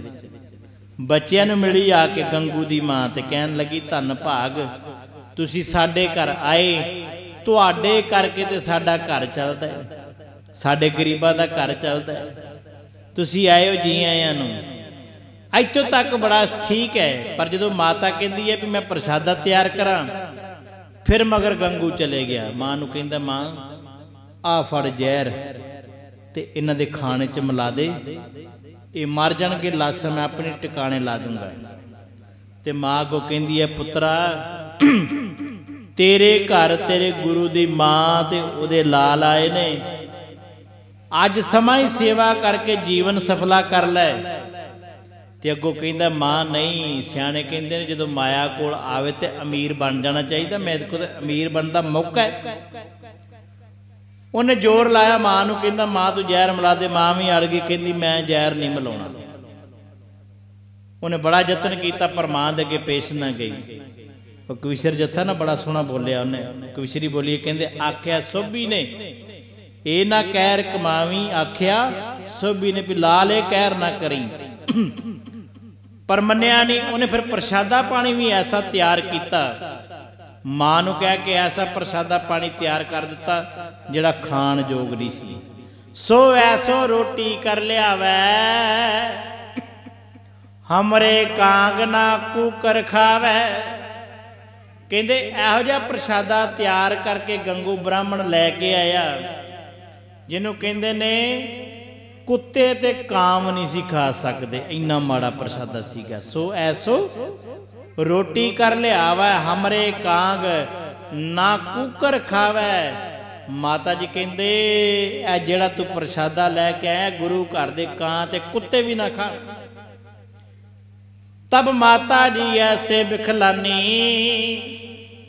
ਭੂਖੇ ਕੋਇਰ ਦੇਖ ਕੁਮਲਾਨੀ। ਮਾਤਾ ਜੀ ਫਿਰ ਗੁੱਸੇ ਦੇ ਵਿੱਚ ਬੋਲੇ ਥੋੜਾ ਜਿਹਾ, ਕਹਿਣ ਲੱਗੇ, ਗੰਗਿਆ, ਉਹ ਗੁਰੂ ਘਰ ਸਾਡੇ ਕੋਲ ਜਦੋਂ ਰਹਿਣਾ ਸੀ ਤੇ ਇਹੋ ਜਿਹਾ ਪ੍ਰਸ਼ਾਦਾ ਛਕਦਾ ਸੀ। ਤੈਨੂੰ 36 ਪ੍ਰਕਾਰ ਦੇ ਭੋਜਨ ਤਿਆਰ ਕਰਕੇ ਦਿੰਦੇ ਰਹੇ ਆ ਹੁਣ ਨੋਟ ਕਰਿਓ, ਮੈਂ ਸੁਣਦਾ ਪਿਆਸਾਂ ਵੀ ਗੰਗੂ ਬ੍ਰਾਹਮਣ ਇਹਦਾ ਮਤਲਬ ਵੀ ਮਹਾਰਾਜ ਉਹਦੇ ਹੱਥ ਦਾ ਖਾਂਦੇ ਸੀਗੇ। ਇਹ ਸੋਚਣ ਵਾਲੀ ਬੜੀ ਵੱਡੀ ਗੱਲ ਜੀ। ਕਿ ਗੁਰੂ ਗੋਬਿੰਦ ਸਿੰਘ ਪਾਤਸ਼ਾਹ ਨੇ ਤੇ 1699 ਦੇ ਵਿੱਚ ਵਿਸਾਖੀ ਵਾਲੇ ਦਿਨ ਅੰਮ੍ਰਿਤ ਛਕਾ ਦਿੱਤਾ। ਕਿ ਇਸ ਨਗੁਰੇ ਦੇ ਹੱਥੋਂ ਖਾਂਦੇ ਰਹੇ ਹੋਣਗੇ? ਨਹੀਂ ਭਾਈ। ਵਿਦਵਾਨ ਕਹਿੰਦੇ ਨੇ, ਇਹਨੂੰ ਤਾਂ ਰੱਖਿਆ ਸੀ ਕਿ ਜੇ ਕੋਈ ਉਹਨਾਂ ਦੇ ਘਰ ਜਿਸ ਤਰ੍ਹਾਂ ਬ੍ਰਾਹਮਣ ਪਹਿਲੋਂ ਕਰਦੇ ਸੀ ਵੀ ਸੁੱਚਾ ਹੀ ਪ੍ਰਸਾਦਾ ਛਕਣਾ ਉਹਨਾਂ ਨੂੰ ਤਿਆਰ ਕਰਕੇ ਦਿੰਦਾ ਸੀਗਾ। ਇਸ ਕਰਕੇ ਵੀ ਹੋ ਸਕਦਾ ਹੈ, ਪਰ ਇਹ ਵੀ ਗੁਰੂ ਘਰ ਦੇ ਵਿੱਚ ਹੋ ਸਕਦਾ ਹੈ ਵੀ ਜੇ ਗੁਰੂ ਪਾਤਸ਼ਾਹ ਦੇ ਵਾਸਤੇ ਵੱਖਰਾ ਜੇ ਪ੍ਰਸ਼ਾਦਾ ਤਿਆਰ ਕਰਦੇ ਨੇ, ਤੇ ਇੱਥੇ ਵੀ ਥੋੜੀ ਜਿਹੀ ਕਿੰਤੂ ਪਰੰਤੂ ਬਣਦੀ ਹੈ। ਪਰ ਮਾਫ ਕਰਨਾ, ਪਰ ਇੱਥੇ ਇੱਕ ਚੀਜ਼ ਸੋਚਣ ਵਾਲੀ ਹੈ ਵੀ ਹੋ ਸਕਦਾ ਇਸ ਬੰਦੇ ਨੇ ਕੋਈ 2-4 ਮਹੀਨੇ ਸੇਵਾ ਕੀਤੀ ਹੋਵੇ ਤੇ ਫਿਰ ਆਪਣੇ ਘਰ ਵਾਪਸ ਆ ਗਿਆ ਹੋਵੇ। ਕਿਉਂਕਿ ਜਦੋਂ ਚਮਕੌਰ ਦੀ ਜੰਗ ਹੋਈ ਹੈ, ਉਦੋਂ ਆਪਣੇ ਘਰ ਸੀਗਾ। ਕੀ ਪਤਾ ਪਹਿਲੋਂ ਆ ਗਿਆ ਹੋਵੇ। ਤੇ ਮਾਫ ਕਰਨਾ, ਜਿਹੜਾ ਬੰਦਾ ਸਰਕਾਰੀ ਨੌਕਰੀ ਕਰਦਾ ਹੈ ਭਾਵੇਂ 1 ਮਹੀਨਾ ਕਰ ਲੇ, ਉਹ ਜ਼ਰੂਰ ਦੱਸੇਗਾ ਵੀ ਮੈਂ ਸਰਕਾਰੀ ਨੌਕਰੀ ਕਰਦਾ ਰਿਹਾ। ਭਾਵੇਂ ਇੱਕ ਸਾ ਇੱਕ ਮਹੀਨਾ ਕੀਤੀ, ਚਾਹੇ 2 ਮਹੀਨੇ ਕੀਤੀ, ਚਾਹੇ 2 ਸਾਲ ਕੀਤੀ ਹੈ, ਉਹ ਦੱਸੇਗਾ ਜ਼ਰੂਰ। ਕੋਈ ਵੀ ਕੋਈ ਕੰਮ ਕਰਦਾ ਉਹ ਆਪਣੇ ਮਗਰ ਜ਼ਰੂਰ ਲਾਏਗਾ ਵੀ ਮੈਂ ਉੱਥੇ ਸੇਵਾ ਕਰਦਾ ਰਿਹਾ ਜੀ, ਭਾਵੇਂ 2-4 ਦਿਨ ਕਿਉਂ ਨਾ ਕੀਤੀ ਹੁਣ ਇੱਥੇ ਵੀ ਬਣਦਾ ਵੀ ਸ਼ਾਇਦ ਗੰਗੂ ਨੇ ਕੁਝ ਸਮਾਂ ਸੇਵਾ ਕੀਤੀ ਹੋਵੇਗੀ, ਪਰ ਜ਼ਿਆਦਾ ਸਮਾਂ ਨਹੀਂ, ਕਿਉਂਕਿ ਇਸ ਗੁਰੇ ਦੇ ਹੱਥੋਂ ਮਾਰੇ ਪ੍ਰਸ਼ਾਦਾ ਨਹੀਂ ਛਕਦੇ ਹੋਣਗੇ ਨੋਟ ਕਰਨਾ। ਇਹ ਬੜੀ ਸੋਚਣ ਵਾਲੀ ਗੱਲ ਹੈ। ਰਹੋ ਵਿਚਾਰ। ਕਿਉਂਕਿ ਸਿੱਖ ਪੰਥ ਦੀਆਂ ਬੜੀਆਂ ਸਰਮੌਰ ਹਸਤੀਆਂ ਜਿਹੜੇ ਵਿਦਵਾਨ ਨੇ ਖੋਜਾਂ ਕਰਦੇ ਨੇ ਜੇ ਮੈਂ ਇਤਿਹਾਸ ਸੁਣਾ ਰਿਹਾ, ਇਹ ਸੱਚ ਨਹੀਂ ਹੈਗਾ ਵੀ ਇੱਥੇ ਸੱਚ ਵਾ। ਮੈਂ ਜੋ ਕਹਤਾ, ਇਹ ਟਲ ਸਚਾਈ ਹੈ। ਇੱਥੇ ਖੋਜਾਂ ਹੋਰ ਹੋ ਰਹੀਆਂ ਨੇ। ਤੇ 100 ਤੇ 1 ਟੀਕਾ ਜਪਜੀ ਸਾਹਿਬ ਦਾ ਵਿਦਵਾਨ ਕਹਿੰਦੇ ਨੇ। 100 ਤੇ 1 ਟੀਕਾ ਜਪਜੀ ਸਾਹਿਬ ਦਾ ਹੁਣ ਇਹਦਾ ਮਤਲਬ ਹੈ ਥੋੜੀ ਜਿਹੜਾ ਇੱਕ ਨੇ ਲਿਖਤਾ, ਉਹ ਸਹੀ ਹੈ। ਇਹ ਤੇ ਖੋਜ ਹੈ, ਸਮੁੰਦਰ ਹੈ, ਜਿੰਨਾ ਕੋਈ ਖੋਜੇਗਾ, ਜਿੰਨੀ ਚੁੱਭੀ ਡੁੱਬੀ ਮਾਰੇਗਾ, ਉਨੀ ਖੋਜ ਨਿਕਲੇਗੀ ਭਾਈ। ਇੱਕ ਇੱਕ ਅਰਥ ਦੇ 51 51 ਅਰਥ ਸੰਤ ਗਿਆਨੀ ਗੁਰਬਚਨ ਸਿੰਘ ਜੀ ਖਾਲਸਾ ਪਿੰਡਰਾਂ ਵਾਲੇ ਮਹਾਂਪੁਰਖ ਕਰਿਆ ਕਰਦੇ ਸਨ। 101 ਅਰਥ ਸਿੱਖਿਆ ਸੀ ਉਹਨਾਂ ਨੇ 101 ਅਰਥ ਤਨ ਤਨ ਬਾਬਾ ਸੁੰਦਰ ਸਿੰਘ ਜੀ ਖਾਲਸਾ ਪਿੰਡਰਾਂ ਵਾਲੇ ਮਹਾਂਪੁਰਖਾਂ ਕੋਲ। ਪਰ ਕਰਦੇ 51 ਹੁੰਦੇ ਸੀਗੇ, ਜ਼ਿਆਦਾ ਨਹੀਂ। ਕਹਿੰਦੇ ਸੀ, ਜੇ ਮੈਂ 101 ਕਰਦਾ ਤੇ ਆਪਣੇ ਗੁਰੂ ਦੀ ਬਰਾਬਰੀ ਕਰਦਾ। ਪਰ ਜਦੋਂ ਉਹਨਾਂ ਦੀ ਕਥਾ ਸੁਣੀਏ ਤੇ ਮਾਫ ਕਰਨਾ, ਆਮ ਬੰਦਾ ਸਮਝ ਨਹੀਂ ਸਕਦਾ। ਇੱਕ ਇੱਕ ਬਚਨ ਦੇ ਕਈ ਕਈ ਅਰਥ ਕਰ ਜਾਂਦੇ ਸਨ। ਰਹੋ ਵਿਚਾਰ। ਕਹਿਣ ਤੋਂ ਮੁਰਾਦ ਇਹ ਕਿ ਹੋ ਸਕਦਾ ਇਹ ਪਹਿਲੋ ਸੇਵਾ ਕੀਤੀ ਹੋਵੇ। ਪਰ ਗੁਰੂ ਪਾਤਸ਼ਾਹ ਦੇ ਹੱਥੋਂ ਪ੍ਰਸਾਦਾ ਮੇਰਾ ਜੋ ਮਨ ਕਹਿੰਦਾ ਵੀ ਨਹੀਂ ਛਕਦੇ ਹੋਣਗੇ। ਪਰ ਇਹਦੇ ਮਨ ਵਿੱਚ ਆਇਆ, ਮਾਤਾ ਜੀ ਕਹਿੰਦੇ, ਉਹ ਗੰਗੇ ਆ ਤੈਨੂੰ ਗੁਰੂ ਘਰ ਦੇ 36 ਪ੍ਰਕਾਰ ਦੇ ਭੋਜਨ ਖਵਾਉਂਦੇ ਰਹੇ ਤੇ ਤੂੰ ਆ ਕੀ ਲੈ ਕੇ ਆਇਆ? ਤਬ ਮਾਤਾ ਜੀ ਐਸੇ ਬਿਖਲਾਨੀ ਭੂਖੇ ਕੋਇਰ, ਦੇਖ ਕੁਮਲਾਨੀ ਬੱਚਿਆਂ ਨੇ ਕੁਝ ਨਹੀਂ ਛਕਿਆ। ਪਰ ਕਹਿੰਦੇ ਨੇ ਜਦੋਂ ਮਾਤਾ ਜੀ ਕੁਮੇ ਮਾਸਕੀ ਕੋਲੋਂ ਤੁਰੇ ਸੀ ਨਾ, ਤੇ ਪੰਜ ਸੋਨੇ ਦੀਆਂ ਸਰਫੀਆਂ ਲక్ష్ਮੀ ਨਾਂ ਦੀ ਬ੍ਰਾਹਮਣੀ ਨੂੰ ਦਿੱਤੀਆਂ। ਤੇ ਪੰਜ ਮੋਹਰਾਂ ਜਿਹੜੀਆਂ ਸੀਗੀਆਂ ਕੁੰਮੇ ਮਾਸਕੀ ਨੂੰ ਦਿੱਤੀਆਂ ਤੇ ਕੁੰਮੇ ਮਾਸਕੀ ਨੇ ਹੱਥ ਜੋੜਦੇ ਸੀ, ਮਾਤਾ ਜੀ, ਮੈਂ ਮਾਇਆ ਨਹੀਂ ਲੈਣੀ। ਮੈਂ ਮਾਇਆ ਨਹੀਂ ਲੈਣੀ, ਮੇਰੀ ਸੇਵਾ ਪ੍ਰਵਾਨ ਕਰੋ। ਮਾਤਾ ਜੀ ਕਹਿੰਦੇ, ਸੇਵਾ ਤੇਰੀ ਪ੍ਰਵਾਨ ਹੈ। ਜੁਗੋ ਜੁਗ ਟਲ ਰਹੇਗੀ। ਪਰ ਜਦੋਂ ਸਾਡਾ ਜ਼ਿਕਰ ਆਏਗਾ, ਬੱਚਿਆ, ਤੇਰਾ ਵੀ ਜ਼ਿਕਰ ਆਵੇਗਾ। ਜੁਗੋ ਜੁਗ ਟਲ ਰਹੇਗੀ, ਪਰ ਚੇਤਾ ਰੱਖੀ, ਇਹ ਬਖਸ਼ਿਸ਼ ਹੈ, ਇਹਨੂੰ ਪ੍ਰਵਾਨ ਕਰ। ਫਿਰ ਉਹਨੇ ਮਾਇਆ ਲਈ ਸੀਗੀ, ਕਹਿੰਦੇ। ਇਹ ਸਾਰਾ ਕੁਝ ਫਿਰ ਵੇਖਿਆ ਸੀ ਇਹਨੇ। ਗੰਗੂ ਨੇ ਵੀ ਮਾਇਆ ਬੜੀ ਹੈ, ਖੁਜੀ ਬੜੀ ਤਕੜੀ ਹੈ। ਹੁਣ ਰਾਤ ਪੈ ਗਈ ਬੱਚੇ ਭੁੱਖੇ ਨੇ ਇੱਥੇ। ਇੱਥੋਂ ਤਸੀਹਾ ਸ਼ੁਰੂ ਹੋ ਜਾਂਦਾ, ਮਾਫ ਕਰਨਾ, ਭੁੱਖਿਆਂ ਰਹਿਣਾ ਵੀ ਇੱਕ ਤਸੀਹਾ ਜੇ। ਬਾਣ ਦੇ ਵਿੱਚ ਇੱਕ ਜ਼ਿਕਰ ਹੁੰਦਾ ਹੈ ਕਿ ਭੁੱਖ ਆ ਬੱਚੇ ਨੇ ਸਾਡੇ ਕੋਲ ਛੋਟੇ ਛੋਟੇ ਮਾਫ ਕਰਨਾ। ਇਹਨਾਂ ਨੂੰ ਭਾਵੇਂ ਸਾਰੀ ਦਿਹਾੜੀ ਕੁਝ ਖਵਾਈ ਜਾਓ, ਰੱਜਦੇ ਹੀ ਨਹੀਂ ਹੈਗੇ। ਜੋ ਮਰਜ਼ੀ ਇਹਨਾਂ ਨੂੰ ਜਦੋਂ ਮਰਜ਼ੀ ਖਵਾ ਦਿਓ, ਇਹ ਰੱਜਦੇ ਹੀ ਨਹੀਂ। ਜਿੰਨੇ ਮਰਜ਼ੀ, ਜੋ ਮਰਜ਼ੀ ਛਕੀ ਜਾਣ।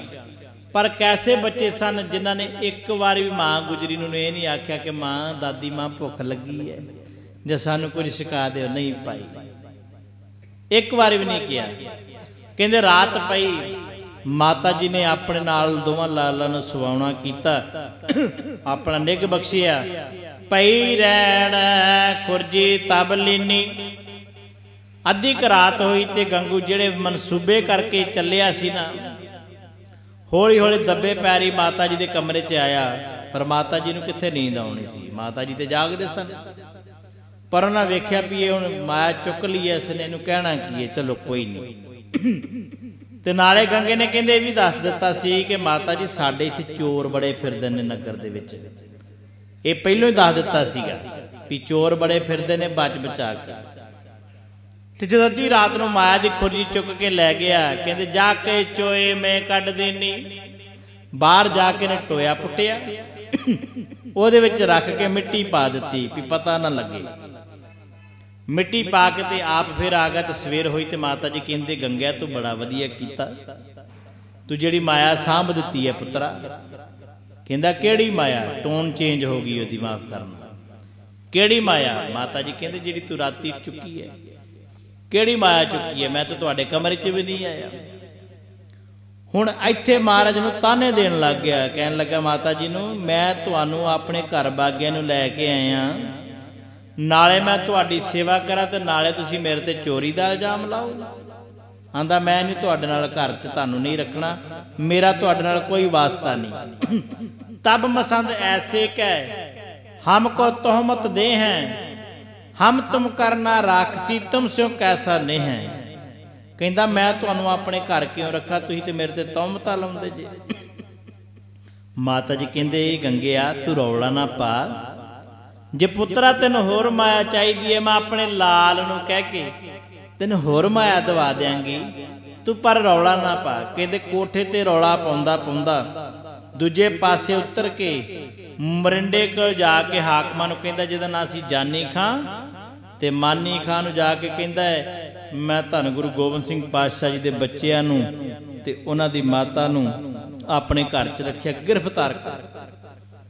ਤੇ ਉਹਨਾਂ ਨੇ ਵੀ ਕਿਹਾ ਵੀ ਤੂੰ ਬੜਾ ਵਧੀਆ ਕੰਮ ਕੀਤਾ ਹੈ, ਜੇ ਮਾਤਾ ਜੀ ਤੇ ਬੱਚਿਆਂ ਨੂੰ ਗ੍ਰਿਫਤਾਰ ਕਰਾਇਆ, ਵਜ਼ੀਰ ਖਾਨ ਤੈਨੂੰ ਇਨਾਮ ਮੋਟਾ ਹੀ ਦੇਵੇਗਾ। ਹੁਣ ਇੱਧਰ ਵੀ ਲਾਲਚ ਪੈ ਗਿਆ ਵੀ ਉਧਰੋਂ ਵੀ ਮਾਇਆ ਆ ਗਈ ਤੇ ਹੁਣ ਇੱਧਰੋਂ ਵੀ ਇਨਾਮ ਮਿਲ ਜਾਣਾ। ਲੈ ਕੇ ਆਇਆ ਜਾਨੀ ਖਾਨ ਤੇ ਮਾਨੀ ਖਾਨ ਨੂੰ, ਗ੍ਰਿਫਤਾਰ ਕਰਾ ਦਿੱਤਾ ਮਾਤਾ ਜੀ ਹੁਣਾਂ ਨੂੰ। ਇੱਥੇ ਤੱਕ ਦੱਸਦੇ ਨੇ ਵੀ ਜਦੋਂ ਗ੍ਰਿਫਤਾਰ ਕਰਕੇ ਖੜ ਲੱਗੇ, ਉੱਥੇ ਇੱਕ ਗੁਰਦੁਆਰਾ ਰਤ ਸਾਹਿਬ ਵੀ ਹੈਗਾ ਜੀ। ਉੱਥੇ ਕੋਈ ਪਿੰਡ ਦਾ ਬੰਦਾ ਸੀਗਾ, ਜਿਹਨੇ ਕਿਹਾ ਸੀ ਵੀ ਬਜ਼ੁਰਗ ਮਾਤਾ ਨੇ ਤੁਰ ਨਹੀਂ ਸਕਦੇ, ਤੁਸੀਂ ਆਲੇ ਦੁਆਲੇ ਪੈਰ ਆਪਣਾ ਕਰੜਾ ਕਰ ਲਓ, ਮੇਰੇ ਰੱਥ ਤੇ ਬਿਠਾ ਦਿਓ। ਰੱਥ ਤੇ ਬਿਠਾ ਕੇ ਖੜੇ ਆ ਮਰਿੰਡੇ ਤੱਕ, ਇਹ ਵੀ ਵਿਦਵਾਨ ਕਹਿੰਦੇ ਨੇ। ਉਸ ਤੋਂ ਬਾਅਦ ਅੱਗੇ ਜਿਹੜਾ ਇਹਨਾਂ ਨੂੰ ਖੜਨਾ ਸੀਗਾ ਰਾਤ, ਕਹਿੰਦੇ ਤਸੀਏ ਇਹਨਾਂ ਨੇ ਵੀ ਦਿੱਤੇ ਬੱਚਿਆਂ ਨੂੰ। ਮਾਰਨਾ ਕੀਤਾ ਛੰਟਿਆਂ ਦੇ ਨਾਲ ਚਾਬਕਾਂ ਦੇ ਨਾਲ, ਵੀ ਬੱਚੇ ਮੰਨ ਜਾਣਗੇ ਤੇ ਅਸੀਂ ਨਾਮ ਲੈ ਲਾਂਗੇ ਔਰੰਗਜ਼ੇਬ ਕੋਲੋਂ। ਇਨਾਮ ਦੀ ਸਾਰੀ ਗੱਲ ਹੈ। ਅਸੀਂ ਨਾਮ ਲੈ ਲਵਾਂਗੇ। ਬੱਚਿਆਂ ਨੂੰ ਬਹੁਤ ਮਾਰਿਆ ਪਰ ਬੱਚੇ ਡੋਲੇ ਨਹੀਂ। ਅਗਲੇ ਦਿਨ ਫਿਰ ਉੱਥੋਂ ਵਜ਼ੀਰ ਖਾਨ ਤੱਕ ਸੁਨਾ ਭੇਜ ਦਿੱਤਾ ਵੀ ਧੰਨ ਗੁਰੂ ਗੋਬਿੰਦ ਸਿੰਘ ਪਾਤਸ਼ਾਹ ਦੇ ਮਾਤਾ ਜੀ ਤੇ ਉਹਨਾਂ ਦੇ ਲਾਲ ਸਾਡੇ ਕੋਲ ਗ੍ਰਿਫਤਾਰ ਨੇ। ਕਹਿੰਦੇ, ਹਾਰ ਮੰਨ ਕੇ ਤੇ ਆਇਆ ਸੀਗਾ ਚਮਕੌਰ ਚੋਂ। ਪਿੱਛੇ ਰਹਿੰਦਾ ਸੀ, ਅੱਗੇ ਨਹੀਂ ਸੀ ਗਿਆ, ਡਰਦਾ ਹੈ ਵੀ। ਮਾਫ ਕਰਨਾ ਵਜ਼ੀਰ ਖਾਨ, ਬੇਸ਼ੱਕ ਤੇ ਆਪਣੇ ਆਪ ਨੂੰ ਕਹਿੰਦਾ ਹੋਵੇਗਾ, ਪਰ ਗੁਰੂ ਸਾਹਿਬਾਂ ਦੇ ਸਾਹਮਣੇ ਨਹੀਂ ਸੀ ਜਾਂਦਾ। ਫੌਜ ਨੂੰ ਅੱਗੇ ਭੇਜਦਾ ਸੀ ਵੀ ਇਹ ਮਰਦੀ ਹੈ ਤੇ ਮਰੇ ਪਰ ਮੈਂ ਬਚ ਜਾ। ਇਹ ਪਿੱਛੇ ਹੀ ਰਿਹਾ, ਅੱਗੇ ਨਹੀਂ ਵਧਿਆ। ਉੱਥੇ ਮੁੜ ਕੇ ਜਦੋਂ ਘਰ ਵਾਪਸ ਆਇਆ ਤੇ ਰਾਤ ਕਹਿੰਦੇ ਸੁੱਤਾ ਨਹੀਂ, ਸਾਰੀ ਰਾਤ ਟਹਿਲਦਾ ਰਿਹਾ ਹੈ ਵਜ਼ੀਰ ਖਾਨ। ਇਹਨੂੰ ਚਿੰਤਾ ਇਸ ਗੱਲ ਦੀ ਸੀ ਵੀ ਔਰੰਗਜ਼ੇਬ ਮੈਨੂੰ ਕੀ ਕਹੇਗਾ। ਔਰੰਗਜ਼ੇਬ ਨੇ ਕਹਿਣਾ, ਤੇਰੇ ਕੋਲ 10 ਲੱਖ ਫੌਜ ਸੀਗੀ। ਧੰਨ ਗੁਰੂ ਗੋਬਿੰਦ ਸਿੰਘ ਪਾਤਸ਼ਾਹ ਕੋਲ 40 ਸਿੰਘ, ਉਹ ਵੀ ਭੁੱਖਣ ਭਾਣੇ। ਉਹ ਵਜੀਦਿਆ, ਤੂੰ ਇੱਕ ਵੀ ਉਹਨਾਂ ਦਾ ਸਿੱਖ ਜਿਉਂਦਾ ਕਿਉਂ ਨਾ ਫੜ ਸਕਿਆ? ਇਹ ਲਾਂਤਾ ਪੈਣੀਆਂ ਸੀ ਇਹਨੂੰ। ਇਹ ਇਸ ਗੱਲ ਤੋਂ ਡਰਦਾ ਹੋਇਆ, ਰਾਤ ਕਦੀ ਟਹਿਲਦਾ ਹੈ, ਕਦੀ ਵਿਆਕੁਲ ਹੋਇਆ, ਇੱਧਰ ਨੂੰ ਜਾਂਦਾ ਕਦੀ ਇੱਧਰ ਨੂੰ ਜਾਂਦਾ ਹੈ। ਇਹਨੂੰ ਜਦੋਂ ਸੁਨਾਹ ਮਿਲਿਆ ਵੀ ਧੰਨ ਗੁਰੂ ਗੋਬਿੰਦ ਸਿੰਘ ਪਾਤਸ਼ਾਹ ਦੇ ਮਾਤਾ ਜੀ ਤੇ ਬੱਚੇ ਗ੍ਰਿਫਤਾਰ ਕੀਤੇ ਨੇ ਜਾਨੀ ਖਾਂ ਤੇ ਮਾਨੀ ਖਾਂ ਨੇ। ਕਹਿੰਦੇ ਬੜਾ ਖੁਸ਼ ਹੋਇਆ ਤੇ ਖਿੜਖੜਾ ਕੇ ਹੱਸ ਕੇ ਕਹਿੰਦਾ, ਹੁਣ ਗੱਲ ਬਣੀ ਹੈ। ਹੁਣ ਧੰਨ ਗੁਰੂ ਗੋਬਿੰਦ ਸਿੰਘ ਪਾਤਸ਼ਾਹ ਮੇਰੇ ਕੋਲ ਆਪਣੇ ਆਪ ਹੀ ਆਵੇਗਾ। ਕਿਉਂ ਆਵੇਗਾ? ਮਾਂ ਦੇ ਮੋਹ 'ਚ, ਜੇ ਮਾਂ ਦੇ ਮੋਹ 'ਚ ਨਹੀਂ ਆਏਗਾ ਤੇ ਪੁੱਤਰਾਂ ਦੇ ਮੋਹ 'ਚ ਆਵੇਗਾ। ਮੇਰੇ ਅੱਗੇ ਗੋਡੇ ਟੇਕੇਗਾ, ਪਰ ਇਹਨੂੰ ਥੋੜੀ ਪਤਾ ਸੀ ਵੀ ਸ੍ਰਿਸ਼ਟੀ ਦਾ ਮਾਲਕ ਕੌਣ ਹੈ। ਉਹ ਤੇ ਹਰਖ ਸੋਗ ਤੇ ਰਹੇ ਨਿਆਰੋ ਨਾ ਉਹਨਾਂ ਨੂੰ ਦੁੱਖ ਦੀ ਗੱਲ, ਨਾ ਉਹਨਾਂ ਨੂੰ ਸੁੱਖ ਦੀ ਗੱਲ। ਉਹ ਤੇ ਆਨੰਦ ਵਿੱਚ ਨਹੀਂ ਨਾ ਕੋ ਬੈਰੀ ਨਹੀਂ ਬਿਗਾਨਾ, ਨਾ ਹੀ ਉਹ ਦੁਸ਼ਮਣੀ ਕੱਢਦੇ ਨੇ ਕਿਸੇ ਨਾਲ। ਉਹ ਤੇ ਆਨੰਦ ਵਿੱਚ ਰਹਿੰਦੇ ਨੇ। ਇਹਨੂੰ ਇਸ ਗੱਲ ਦਾ ਪਤਾ ਹੀ ਨਹੀਂ। ਜਦੋਂ ਜਾ ਕੇ ਪੇਸ਼ ਕੀਤਾ ਖੜੇ ਆ ਤੇ ਪਹਿਲੇ ਦਿਨ ਹੀ ਕਹਿੰਦਾ ਜੀ ਇਹਨਾਂ ਨੂੰ ਠੰਡੇ ਬੁਰਜ 'ਚ ਬਿਠਾ ਦਿੱਤਾ ਜਾਵੇ ਠੰਡੇ ਬੁਰਜ ਵਿੱਚ ਅਗਲਾ ਦਿਨ ਪੇਸ਼ੀ ਹੋਣੀ ਸੀ। ਸਵੇਰ ਹੋਈ ਹੈ। ਦਰਬਾਰ ਲੱਗਾ ਅੰਮ੍ਰਿਤ ਵੇਲੇ ਸਵੇਰੇ ਸਵਖਤ ਹੀ। ਦਰਬਾਰ ਲੱਗ ਗਿਆ ਬੱਚਿਆਂ ਨੂੰ ਮਾਤਾ ਜੀ ਦੇ ਕੋਲੋਂ ਲੈਣ ਵਾਸਤੇ ਆਏ ਨੇ ਤੇ ਕਹਿੰਦੇ ਨੇ ਲੈ ਕੇ ਜਦੋਂ ਗਏ ਨਾ ਤੇ ਦਰਬਾਰ ਦੇ ਵਿੱਚ ਜਾਂਦੇ ਆ ਦੋਵੇਂ ਵੀਰ ਆਪਸ ਵਿੱਚ ਸਲਾਹਾਂ ਕਰਦੇ ਜਾਂਦੇ ਨੇ। ਸਲਾਹਾਂ ਵੀ ਕਰਨਾ ਕੀ ਹੈ? ਕਿਉਂਕਿ ਇਹਨਾਂ ਨੂੰ ਪਤਾ ਸੀਗਾ ਕਿ ਜਦੋਂ ਵਜੀਦੇ ਦੇ ਦਰਬਾਰ 'ਚ ਜਾਣਾ ਹੈ, ਆਲੇ ਦੁਆਲੇ ਸਾਰੇ ਮੁੱਲੇ ਮੁਲਾਣੇ ਹੋਣੇ ਨੇ। ਪਰ ਅਸੀਂ ਕੀ ਕਰਨਾ ਇਹ ਦੋਵੇਂ ਭਰਾ ਜਦੋਂ ਬਿਲਕੁਲ ਆਮਣ ਸਾਹਮਣੇ, ਇੱਕ ਦੂਜੇ ਦੇ ਹੋਏ ਸਾਹਮਣੇ ਵਜੀਦ ਖਾਨ ਦਾ ਦਰਬਾਰ ਲੱਗਾ ਉਹ ਸਿੰਘਾਸਨ ਤੇ ਬੈਠਾ ਇਹਨਾਂ ਦੋਵਾਂ ਭਰਾਵਾਂ ਨੇ ਇੱਕ ਦੂਜੇ ਵੱਲ ਵੇਖਿਆ ਤੇ ਕੀ ਆਖਿਆ? ਵਾਹਿਗੁਰੂ ਜੀ ਕਾ ਖਾਲਸਾ, ਵਾਹਿਗੁਰੂ ਜੀ ਕੀ ਫਤਿਹ। ਜਦੋਂ ਫਤਿਹ ਬੁਲਾਈ ਹੈ ਤੇ ਵਜੀਦੇ ਨੂੰ ਅੱਗ ਲੱਗ ਗਈ। ਮਾਫ ਕਰਨਾ, ਉਹ ਸੜ ਬੜ ਕੇ ਕੋਲਾ ਹੋ ਗਿਆ ਵੀ ਬਣਿਆ ਕੀ ਹੈ? ਇਹਨਾਂ ਬੱਚਿਆਂ ਨੂੰ ਜਿਸ ਕੰਮ ਲਈ ਲਿਆਂਦਾ ਸੀ, ਇਹ ਤੇ ਉਲਟ ਹੋ ਗਿਆ। ਇਹਨਾਂ ਨੇ ਫਤਿਹ ਬੁਲਾ ਦਿੱਤੀ। ਤੇ ਇੱਕ ਵਿੱਚ ਉੱਠਿਆ ਸੁਚਾਨੰਦ ਕਹਿੰਦਾ, ਇਹ ਤੁਹਾਡੇ ਪਿਤਾ ਦਾ ਦਰਬਾਰ ਨਹੀਂ। ਜਿੱਥੇ ਤੁਸੀਂ ਫਤਿਹ ਬੁਲਾਉਂਦੇ ਪਏ ਹੋ, ਇਹ ਵਜ਼ੀਰ ਖਾਨ ਦਾ ਦਰਬਾਰ ਹੈ। ਇੱਥੇ ਝੁੱਕ ਕੇ ਸਲਾਮ ਕਰੋ। ਜੋ ਕਹੋਗੇ ਬੱਚਿਓ, ਤੁਹਾਨੂੰ ਮਿਲੇਗਾ। ਮਹਿਲ ਮਾੜੀਆਂ ਮਿਲ ਜਾਣਗੀਆਂ, ਸੋਹਣੇ ਡੋਲੇ ਮਿਲ ਜਾਣਗੇ। ਜੋ ਘੋੜੇ, ਪਾਖਰ, ਜੋ ਸੁਖ ਸਹੂਲਤਾਂ ਨੇ ਸਾਰੀਆਂ ਤੁਹਾਨੂੰ ਦਿੱਤੀਆਂ ਜਾਣਗੀਆਂ। ਪਰ ਬੱਚਿਆਂ ਨੇ ਕਿਹਾ, ਸਾਨੂੰ ਕੁਝ ਨਹੀਂ ਚਾਹੀਦਾ। ਮਨਾ ਕਰ ਦਿੱਤਾ। ਕਹਿੰਦੇ, ਕਾਫੀ ਸਮਾਂ ਇਹਨਾਂ ਨੂੰ ਮਨਾਉਂਦੇ ਰਹੇ। ਪਰ ਬੱਚੇ ਜਦੋਂ ਨਾ ਨਾ ਮੰਨੇ, ਫਿਰ ਵਾਪਸ ਭੇਜ ਦਿੱਤਾ। ਫਿਰ ਸਲਾਹਾਂ ਕਰਦੇ ਨੇ ਵੀ ਕਰਨਾ ਕਿਵੇਂ, ਇਹਨਾਂ ਨੂੰ ਮਨਾਉਣਾ ਕਿਵੇਂ, ਈਨ ਦੇ ਵਿੱਚ ਕਿਵੇਂ ਲਿਆਉਣਾ ਹੈ। ਕਹਿੰਦੇ ਦਰਬਾਰ ਚੋਂ ਬੱਚੇ ਤੇ ਚਲੇ ਗਏ, ਪਰ ਦਰਬਾਰ ਇਹਨਾਂ ਦਾ ਬੰਦ ਨਹੀਂ ਹੋਇਆ, ਦਰਬਾਰ ਲੱਗਾ ਰਿਹਾ। ਵਜ਼ੀਰ ਖਾਨ ਆਪਣੇ ਹੋਰ ਐਲਕਾਰਾਂ ਦੇ ਨਾਲ ਸਲਾਹ ਕਰਦਾ ਵੀ ਕਿਵੇਂ ਕੀਤਾ ਜਾਵੇ। ਫਿਰ ਕਰਦੇ ਕਰਦੇ ਅਗਲੇ ਦਿਨ ਦੀ ਪੇਚੀ ਸੀਗੀ। ਉਦਣ ਲਿਆਂਦਾ ਗਿਆ ਤੇ ਸਕੀਮ ਬਣਾਈ ਸਾਰਿਆਂ ਨੇ ਵੀ ਆਪਾਂ ਵੱਡਾ ਦਰਵਾਜ਼ਾ ਬੰਦ ਕਰ ਦਾਂਗੇ, ਛੋਟਾ ਜਿਹਾ ਦਰਵਾਜ਼ਾ, ਉਹ ਖੁੱਲਾ ਰਹਿਣ ਦੇਾਂਗੇ ਉਹਦੇ ਵਿੱਚ ਜਦੋਂ ਬੱਚੇ ਝੁੱਕ ਕੇ ਅੰਦਰ ਲੰਘਣਗੇ, ਅਸੀਂ ਸਾਰੇ ਤਾੜੀ ਮਾਰ ਕੇ ਕਹਿ ਦਾਂਗੇ ਵੀ ਇਹਨਾਂ ਨੇ ਵਜ਼ੀਰ ਖਾਨ ਨੂੰ ਸਿਰ ਝੁਕਾਤਾ। ਇਹ ਸਾਡੇ ਧਰਮ ਵਿੱਚ ਤਬਦੀਲ ਹੋ ਗਏ ਨੇ। ਅਸੀਂ ਸਾਰੇ ਖੁਸ਼ੀ ਮਨਾਵਾਂਗੇ। ਵੇਖੋ, ਇਹ ਸਕੀਮਾਂ ਘੜੀਆਂ ਗਈਆਂ ਉਹਨਾਂ ਦੀਆਂ। ਪਰ ਜਦੋਂ ਸਾਹਿਬਜ਼ਾਦਾ ਜੁਝਾਰ ਸਿੰਘ ਤੇ ਬਾਬਾ ਫਤਿਹ ਸਿੰਘ ਇਕੱਠੇ ਤੁਰੇ ਜਾਂਦੇ ਨੇ ਨਾ, ਕਹਿੰਦੇ ਦੋਵੇਂ ਭਰਾ ਇੱਕ ਵੱਲ, ਦੂਜੇ ਵੱਲ ਵੇਖ ਕੇ ਜਦੋਂ ਵੱਡਾ ਦਰਵਾਜ਼ਾ ਬੰਦ ਵੇਖਿਆ ਤੇ ਇੱਕ ਦੂਜੇ ਵੱਲ ਵੇਖ ਕੇ ਕਹਿੰਦੇ ਮੁਸਕਰਾਏ। ਵੀ ਕਿਹੜੀ ਕੋਜੀ ਚਾਲ ਚੱਲਦੇ ਪਏ ਨੇ। ਪਰ ਜਦੋਂ ਸਾਹਮਣੇ ਗਏ ਤੇ ਜਿਹੜੇ ਨਾਲ ਸਿਪਾਹੀ ਸਨ, ਉਹ ਕਹਿੰਦੇ, ਬੱਚਿਓ, ਪ੍ਰਵੇਸ਼ ਕਰੋ। ਕਿਉਂਕਿ ਜਦੋਂ ਆਪ ਅੱਗੇ ਕ ਗਿਆ, ਉਹਨੇ ਝੁੱਕ ਕੇ ਗਿਆ, ਉਹਨੇ ਜਾਂਦਿਆਂ ਸਲਾਮ ਕੀਤੀ। ਹੁਣ ਬੱਚਿਆਂ ਨੇ ਲੰਘਣਾ ਸੀਗਾ। ਪਰ ਦੋਵੇਂ ਭਰਾ ਇਕੱਠੇ ਖਲੋਗੇ ਤੇ ਦੋਵਾਂ ਨੇ ਆਪਣੇ ਪੈਰਾਂ ਦੀਆਂ ਜੁੱਤੀਆਂ ਅੱਗੇ ਕੀਤੀਆਂ। ਕਹਿੰਦੇ, ਲੈ ਵਜ਼ੀਰ ਖਾਨ, ਤੈਨੂੰ ਇਹਦੇ ਨਾਲ ਖਾਣਾ ਭਾਵ ਕਿ ਠੋਕਰ ਦੇਣੀ, ਤੈਨੂੰ ਜੁੱਤੀ ਹੈ ਤੇਰੇ ਸਿਰ 'ਚ ਮਾਰਨੀ ਹੈ। ਜੋ ਜੋੜੇ ਵੇਖੇ ਨਾ, ਸਾਹਮਣੇ ਬੈਠੇ ਨੇ। ਹੁਣ ਉਹ ਤੇ ਵੇਖਦਾ ਸੀ ਵੀ ਸਿਰ ਝੁਕਣਗੇ ਤੇ ਆਉਣਗੇ। ਪਰ ਜਿਸ ਬੰਦੇ ਨੂੰ ਬਾਦਸ਼ਾਹ ਨੂੰ ਜੋੜਾ ਵਿਖਾ ਦਿੱਤਾ ਜਾਵੇ ਤੇ ਮਾਫ ਕਰਨਾ, ਉਹਦੇ ਤੋਂ ਵੱਡੀ ਤੋਹੀਨ ਕੋਈ ਨਹੀਂ। ਜਦੋਂ ਨੇ ਜੋੜੇ ਵੇਖੇ, ਬੱਚਿਆਂ ਦੇ ਪੈਰ ਵੇਖੇ, ਅੰਦਰ ਆਉਂਦੇ ਸਾਰੇ ਦਰਬਾਰ ਦੇ ਵਿੱਚ, ਸਾਰੇ ਫਿਰ ਸੜ ਬਲ ਕੇ ਬੁਖਲਾ ਗਏ ਵੀ ਬਣਿਆ ਕੀ ਐਸੀ ਕੋਈ ਸਕੀਮ ਹੋਰ ਸੋਚੀ, ਪਰ ਕੁਝ ਚਾਲ ਸਾਡੀ ਨਹੀਂ ਚੱਲੀ। ਫਿਰ ਦੋਵੇਂ ਸਹਿਜਦੇ ਪਿੱਛੇ ਨੂੰ ਹੋ ਕੇ ਬੜੇ ਆਕੜ ਕੇ ਵਿੱਚੋਂ ਦੀ ਨਿਕਲੇ, ਫਿਰ ਜਦੋਂ ਸਾਹਮਣੇ ਗਏ ਤੇ ਇੱਕ ਦੂਜੇ ਵੱਲ ਮੂੰਹ ਕਰਕੇ ਦੋਵੇਂ ਭਰਾ ਕਹਿੰਦੇ ਨੇ, ਵਾਹਿਗੁਰੂ ਜੀ ਕਾ ਵਾਹਿਗੁਰੂ ਜੀ ਕੀ ਪਰ ਇੱਥੇ ਵਜ਼ੀਰ ਖਾਨ ਨਰਮੀ ਦੇ ਨਾਲ ਪੇਸ਼ ਆਇਆ, ਨਰਮੀ ਦੇ ਨਾਲ ਕਹਿੰਦਾ, ਬੱਚਿਓ, ਜੇ ਤੁਹਾਨੂੰ ਛੱਡ ਦਈਏ ਤੇ ਫਿਰ ਤੁਸੀਂ ਕੀ ਕਰੋਗੇ? ਕਹਿੰਦੇ ਸੀ ਜੰਗਲਾਂ 'ਚ ਜਾਵਾਂਗੇ। ਬੜਾ ਇਤਿਹਾਸ ਲੰਬੇਰਾ ਜੰਗਲਾਂ 'ਚ ਜਾਵਾਂਗੇ। ਕਹਿੰਦੇ, ਫਿਰ ਕੀ ਕਰੋਗੇ? ਕਹਿੰਦੇ, ਅਸੀਂ ਸਿੰਘ ਇਕੱਠੇ ਕਰਾਂਗੇ। ਆਪਣੇ ਪਿਤਾ ਨੂੰ ਵੀ ਮਿਲਾਂਗੇ। ਪਹਿਲਾਂ ਤੇ ਵੀ ਕਿਹਾ ਵੀ ਤੁਹਾਡਾ ਪਿਤਾ ਵੀ ਚੜਾਈ ਕਰ ਗਿਆ, ਤੁਹਾਡੇ ਭਰਾ ਵੀ ਚੜਾਈ ਕਰ ਗਏ ਨੇ। ਬੜਾ ਕੁਝ ਕਿਹਾ ਸੀਗਾ ਪਰ ਮਹਾਰਾਜ ਦੇ ਬੱਚੇ ਕਹਿਣ ਲੱਗੇ, ਕੋਈ ਐਸੀ ਤਾਕਤ ਨਹੀਂ ਕਿ ਜਿਹੜੀ ਸਾਡੇ ਪਿਤਾ ਨੂੰ ਮਾਰ ਸਕੇ। ਤੂੰ ਮਾਰਨਾ ਤੇ ਛੱਡ। ਤੂੰ ਉਹਨਾਂ ਦੇ ਪਰਛਾਵੇਂ ਨੂੰ ਵੀ ਨਹੀਂ ਸੂ ਸਕਦਾ। ਉਹਨੂੰ ਕਹਿੰਦੇ ਵਜ਼ੀਰ ਖਾਨ, ਤੂੰ ਉਹਨਾਂ ਦੇ ਪਰਛਾਵੇਂ ਨੂੰ ਵੀ ਨਹੀਂ ਸੂ ਸਕਦਾ। ਉਹ ਅਕਾਲ ਪੁਰਖ ਨੇ ਖੁਦ। ਫਿਰ ਕਹਿੰਦਾ, ਜੇ ਛੱਡ ਦਈਏ ਤੇ ਕੀ ਕਰੋਗੇ? ਕਹਿੰਦੇ ਸਿੰਘ ਇਕੱਠੇ ਕਰਾਂਗੇ। ਫਿਰ ਕਹਿੰਦੇ ਕੀ ਕਰੋਗੇ? ਕਹਿੰਦੇ ਤੁਹਾਡੇ ਨਾਲ ਜੰਗ ਕਰਾਂਗੇ। ਕਹਿੰਦਾ ਜੇ ਫੇਰ ਫੜੇ ਜਾਓਗੇ, ਫਿਰ ਕੀ ਕਰੋਗੇ? ਫਿਰ ਛੱਡ ਦਈਏ ਤੁਹਾਨੂੰ, ਫਿਰ ਕਹਿੰਦੇ ਇਹ ਕਰਾਂਗੇ। ਕਹਿੰਦੇ ਉਹਨਾਂ ਚਿਰ ਵਜ਼ੀਰ ਖਾਨ ਬਾਬਾ ਫਤਿਹ ਸਿੰਘ ਕਹਿੰਦਾ ਜਿੰਨਾ ਚਿਰ ਤੱਕ ਤੇਰੀਆਂ ਜੜਾਂ ਨਹੀਂ ਨਾ ਪੁੱਟ ਦਿੰਦੇ, ਜਾਂ ਅਸੀਂ ਸ਼ਹੀਦ ਨਹੀਂ ਹੋ ਜਾਂਦੇ ਉਹਨਾਂ ਚਿਰ ਤੱਕ ਤੇਰੇ ਨਾਲ ਲੜਦੇ ਹੀ ਰਵਾਂਗੇ। ਫਿਰ ਜਦੋਂ ਆ ਬਚਨ ਸੁਣਿਆ ਤੇ ਫਿਰ ਸੁੱਚਾ ਆਨੰਦ ਬੋਲਿਆ ਸੀਗਾ ਇੱਥੇ ਲਾਗੇ। ਇੱਕ ਨੇ ਆ ਕੇ ਵਿੱਚੋਂ ਕਿਹਾ ਸੀਗਾ, ਜਿਹਨੇ ਹਾ ਦਾ ਨਾਰਾ ਮਾਰਿਆ ਸੀ ਮਲੇਰਕੋਟਲੇ ਦਾ ਨਵਾਬ ਉਹਨੂੰ ਸੱਦਿਆ ਸੀਗਾ। ਮੁਹੰਮਦ ਸ਼ੇਰ ਖਾਨ ਕਹਿੰਦੇ, ਇਹਦਾ ਭਰਾ ਸੀਗਾ ਨਾਹਰ ਖਾਨ ਜਿੰਨੇ ਸਿਰ 'ਚ ਮਾਰਨੇ ਪੁੜਪੜੀ 'ਚ ਤੀਰ ਮਾਰਿਆ ਸੀਗਾ, ਜਿਹੜਾ ਥੱਲੇ ਡਿੱਗਿਆ ਸੀਗਾ। ਇਹਦਾ ਭਰਾ ਖਵਾਜਾ ਖਿਜਰ ਜਿਹੜਾ ਲੁਕ ਕੇ ਚਲੇ ਗਿਆ ਸੀਗਾ। ਇਹਨੂੰ ਸੱਦਿਆ, ਵੀ ਤੇਰੇ ਭਰਾ ਨੂੰ ਗੁਰੂ ਗੋਬਿੰਦ ਸਿੰਘ ਪਾਤਸ਼ਾਹ ਨੇ ਮਾਰਿਆ ਤੂੰ ਬਦਲਾ ਲੈਣਾ ਤੇ ਲੈ ਸਕਦਾ ਪਰ ਵਿਦਵਾਨ ਕਹਿੰਦੇ ਨੇ ਕਿ ਉਹਨੇ ਇੱਕ ਗੱਲ ਕਹੀ ਸੀ ਵੀ ਇਹਨਾਂ ਬੱਚਿਆਂ ਦਾ ਤਾਂ ਕਸੂਰ ਹੀ ਕੋਈ ਨਹੀਂ। ਇਹਨਾਂ ਨਾਲ ਮੇਰਾ ਕੋਈ ਲੈਣਾ ਦੇਣਾ ਨਹੀਂ। ਵੈਸੇ ਵੀ ਸਰਾਂ ਦੇ ਹਿਸਾਬ ਦੇ ਨਾਲ 13 ਸਾਲ ਦਾ ਬੱਚਾ ਮੰਨਿਆ ਜਾਂਦਾ ਹੈ। ਇਹ 7 ਤੇ 9 ਸਾਲ ਦੇ ਸਨ। ਕਹਿੰਦਾ ਇਹਨਾਂ ਨੂੰ ਛੱਡ ਦਿੱਤਾ ਜਾਵੇ ਬੱਚਿਆਂ ਨੂੰ। ਇਹ ਹਾ ਦਾ ਨਾਰਾ ਮਾਰਿਆ ਸੀ ਉਹਨੇ। ਕਹਿੰਦਾ ਜੇ ਮੈਂ ਬਦਲਾ ਹੀ ਲੈਣਾ ਤੇ ਇਹਨਾਂ ਦੇ ਪਿਤਾ ਕੋਲ ਲਵਾਂਗਾ। ਹਾਂ, ਉਹਨੇ ਮੇਰਾ ਭਰਾ ਮਾਰਿਆ ਗੁਰੂ ਗੋਬਿੰਦ ਸਿੰਘ ਨੇ। ਕਿਤੇ ਸਾਹਮਣੇ ਆਵੇ ਮੇਰੇ ਤੇ ਮੈਂ ਉਹਦੇ ਨਾਲ ਜ਼ਰੂਰ ਦੋ ਹੱਥ ਕਰਾਂਗਾ। ਕਹਿੰਦਾ ਬਦਲਾ ਹੀ ਲੈਣਾ। ਤੋ ਲੇਂਗੇ ਬਾਪ ਸੇ महफूज रखे खुदा हमें ਐਸੇ ਪਾਪ ਸੇ ਕਹਿੰਦਾ ਮੈਂ ਇਹ ਪਾਪ ਨਹੀਂ ਕਰਨਾ ਚਾਹੁੰਦਾ ਇਹਨਾਂ ਨੂੰ ਛੱਡ ਦਿੱਤਾ ਜਾਵੇ ਤੇ ਕਹਿੰਦੇ ਵਜ਼ੀਰ ਖਾਨ ਮੰਨ ਵੀ ਗਿਆ ਸੀ ਵੀ ਤੂੰ ਪਹਿਲਾਂ ਦੋ ਸ਼ਹੀਦ ਕੀਤੇ ਨੇ ਉਹਦੇ ਮਨ 'ਚ ਥੋੜੀ ਜੀ ਰਹਿਮ ਆਈ ਪਰ ਸੁੱਚਾ ਆਨੰਦ ਨੇ ਆਪਣਾ ਰੋਲ ਫੇਰ ਨਿਭਾ ਦਿੱਤਾ ਕਹਿੰਦਾ ਇਹ ਸੱਪ ਦੇ ਪੁੱਤਰ ਨੇ ਤੇ ਸੱਪ ਦੇ ਪੁੱਤਰ ਤੈਨੂੰ ਦੱਸਣਗੇ ਜ਼ਰੂਰ। ਤੈਨੂੰ ਡੰਗ ਜ਼ਰੂਰ ਮਾਰਨਗੇ।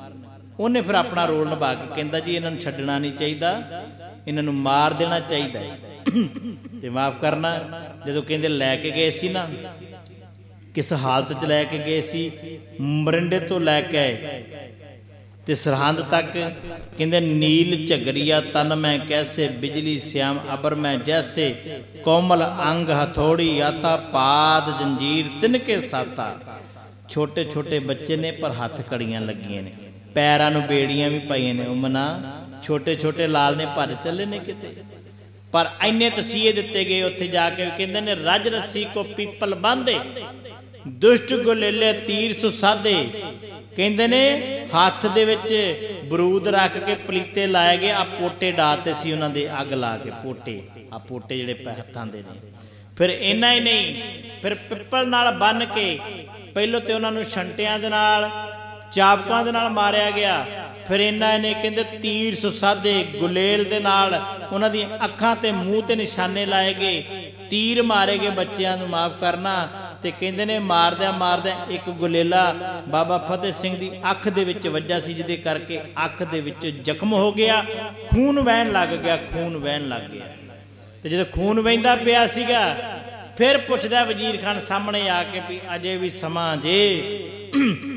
ਈਨ ਮੰਨ ਲਓ ਤੁਹਾਨੂੰ ਛੱਡ ਦੇਾਂਗੇ ਤੇ ਕਹਿੰਦੇ ਬਾਬਾ ਫਤਿਹ ਸਿੰਘ ਨੇ ਆਪਣੀ ਸੱਜੇ ਹੱਥ ਨੂੰ ਆਪਣੀ ਅੱਖ ਤੇ ਰੱਖ ਕੇ ਨਾ ਬੋਲ ਨਹੀਂ ਸੀ ਸਕੇ, ਨਾਂ ਦੇ ਵਿੱਚ ਇਸ਼ਾਰਾ ਕੀਤਾ ਵੀ ਤੇਰੀ ਈਨ ਨਹੀਂ ਮੰਨਣੀ।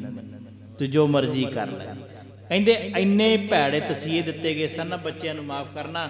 ਪਹਿਲੀ ਗੱਲ ਤਾਂ ਜਿਹੜਾ ਠੰਡਾ ਬੁੱਝ ਸੀ, ਬੁੱਲ ਨੀਲੇ ਹੋ ਗਏ, ਹੱਥ ਨੀਲੇ ਹੋ ਗਏ। ਆ ਵੇਖੋ, ਅਸੀਂ ਇੱਥੇ ਬੈਠੇ ਆ ਨਾ, ਹੀਟਰ ਲਾ ਕੇ ਬੈਨੇ ਮਾਫ ਕਰਨਾ ਮਹਾਰਾਜ ਦੀ ਜੂਰੀ 'ਚ ਵੀ ਹੀਟਰ ਲਾ ਕੇ ਬੈਨੇ ਸੁੱਖ ਸਹੂਲਤਾਂ ਨੇ। ਪਰ ਤਨ ਤੇ ਕੱਪੜੇ ਵੀ ਐਸੇ ਸਨ ਕਿ ਜਿਹੜੇ ਪਤਲੇ ਤੇ ਮਾਫ ਕਰਨਾ, ਉਹਦੇ ਵਿੱਚ ਬੱਚਿਆਂ ਨੂੰ ਠੰਡ ਵੀ ਲੱਗਦੀ ਸੀ, ਕੋਈ ਰਜਾਈ, ਕੋਈ ਤਲਾਈ, ਕੋਈ ਬਿਸਤਰਾ ਨਹੀਂ। ਪਰ ਬੱਚੇ ਇਸ ਤਰ੍ਹਾਂ ਮਾਂ ਦੇ ਨਾਲ ਲੱਗ ਕੇ ਨਿੱਘ ਲੈਂਦੇ ਸਨ ਤੇ ਕੁਛ ਨੋਟ ਕਰਿਓ, ਉਧਰ ਮਾਂ ਵੀ ਮਾਤਾ ਗੁਜਰ ਕੌਰ ਵੀ 80 ਸਾਲਾਂ ਦੀ ਹੈ। ਮਾਫ ਕਰਨਾ, ਬਜ਼ੁਰਗਾਂ ਨੂੰ ਤੇ ਵੈਸੇ ਬੜੀ ਠੰਡ ਲੱਗਦੀ ਹੈ, ਪਰ ਉਹ ਆਪਣੇ ਪੋਤਰਿਆਂ ਨੂੰ ਗਲ ਨਾਲ ਲਾ ਕੇ ਨਿੱਘ ਦਿੰਦੇ ਰਹੇ। ਸਮਾਂ ਆਇਆ, ਸਵੇਰ ਹੋਈ 13 ਪੋ ਦੀ, ਮਾਫ ਕਰਨਾ। ਪਹਿਲਾਂ ਬੜੇ ਇਹਨਾਂ ਨੇ ਵਾਲ ਛਲ ਕੀਤੇ, ਪਰ ਜਦੋਂ ਨਹੀਂ ਗੱਲ ਬਣੀ, ਤਾਂ ਫਿਰ ਸਵੇਰ ਹੋਈ 13 ਪੋ ਤੇ ਧੰਨ ਮਾਤਾ ਗੁਜਰ ਕੌਰ ਜੀ, ਜਿਨ੍ਹਾਂ ਨੇ ਆਪਣੇ ਬੱਚਿਆਂ ਨੂੰ ਫਿਰ ਤਿਆਰ ਕਰਨਾ ਕੀਤਾ, ਤਿਆਰ। ਤੇ ਕਹਿਣ ਲੱਗੇ ਮਾਤਾ ਜੀ ਕਿ ਬੱਚਿਓ, ਮੈਂ ਨਾ ਤੁਹਾਡੇ ਵਾਸਤੇ ਬਸਤਰ ਰੱਖੇ ਨੇ, ਬਸਤਰ। ਉਹ ਕਹਿੰਦੇ ਨੇ, ਮਾਤਾ ਜੀ ਆ ਬਸਤਰ ਤੁਸੀਂ ਰੱਖੇ ਨੇ, ਸਾਨੂੰ ਦੱਸਿਆ ਹੀ ਨਹੀਂ। ਕਹਿੰਦੇ, ਪੁੱਤਰ ਇਹ ਖਾਸ ਦਿਨ ਵਾਸਤੇ। ਮਾਤਾ ਜੀ ਨੂੰ ਪਤਾ ਸੀਗਾ ਵੀ ਅੱਜ ਇਹਨਾਂ ਨੇ ਜਾਣਾ ਤੇ ਵਾਪਸ ਨਹੀਂ ਆਉਣਾ। ਕਹਿੰਦੇ ਫਿਰ ਮਾਤਾ ਜੀ ਨੇ ਨਾ ਸੋਹਣੇ ਬਸਤਰ ਉਹਨਾਂ ਨੂੰ ਪਹਿਨਾਏ ਛੋਟੀਆਂ ਛੋਟੀਆਂ ਕਲਗੀਆਂ ਸਜਾਈਆਂ ਉਹਨਾਂ ਦੇ ਸਿਰ ਤੇ, ਉਹਨਾਂ ਦੇ ਸਾਰੇ ਤਿਆਰੇ ਕੀਤੇ।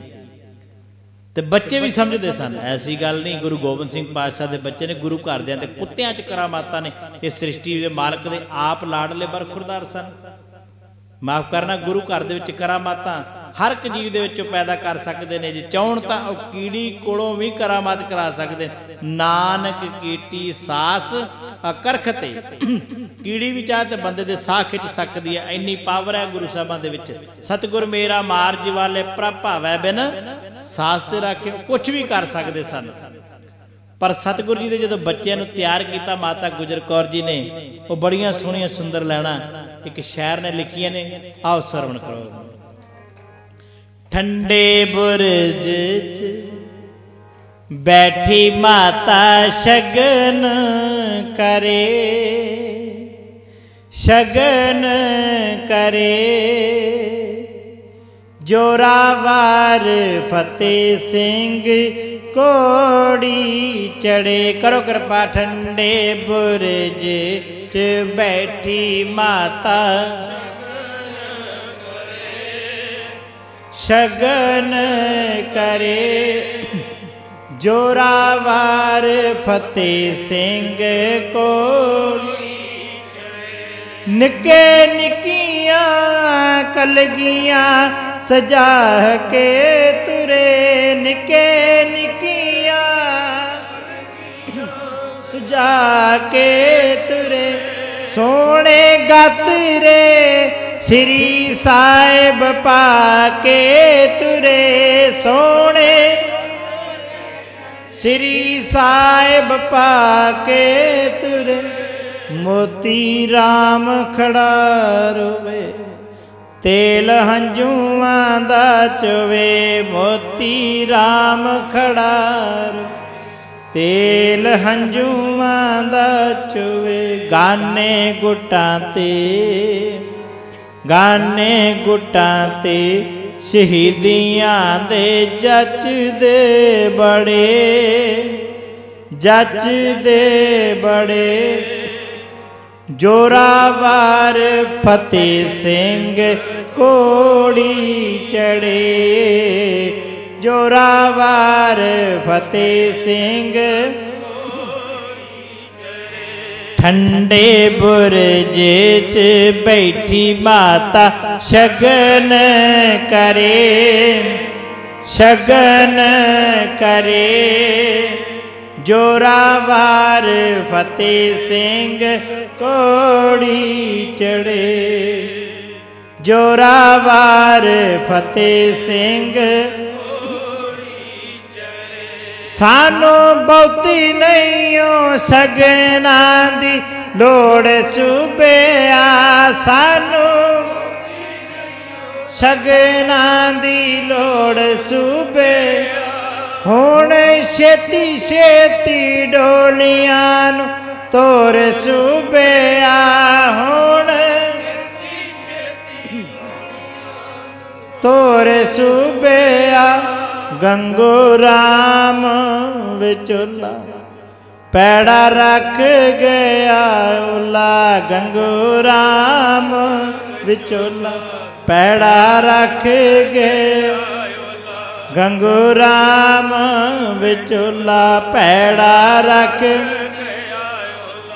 ਖੜੇ ਕੰਬ ਗੇ ਖੜੇ ਕੰਬ ਗੇ ਜਲਾਦ ਅਸੀਂ ਤੇਸੇ ਨੇ ਫੜੇ, ਤੇਸੇ ਨੇ ਫੜੇ।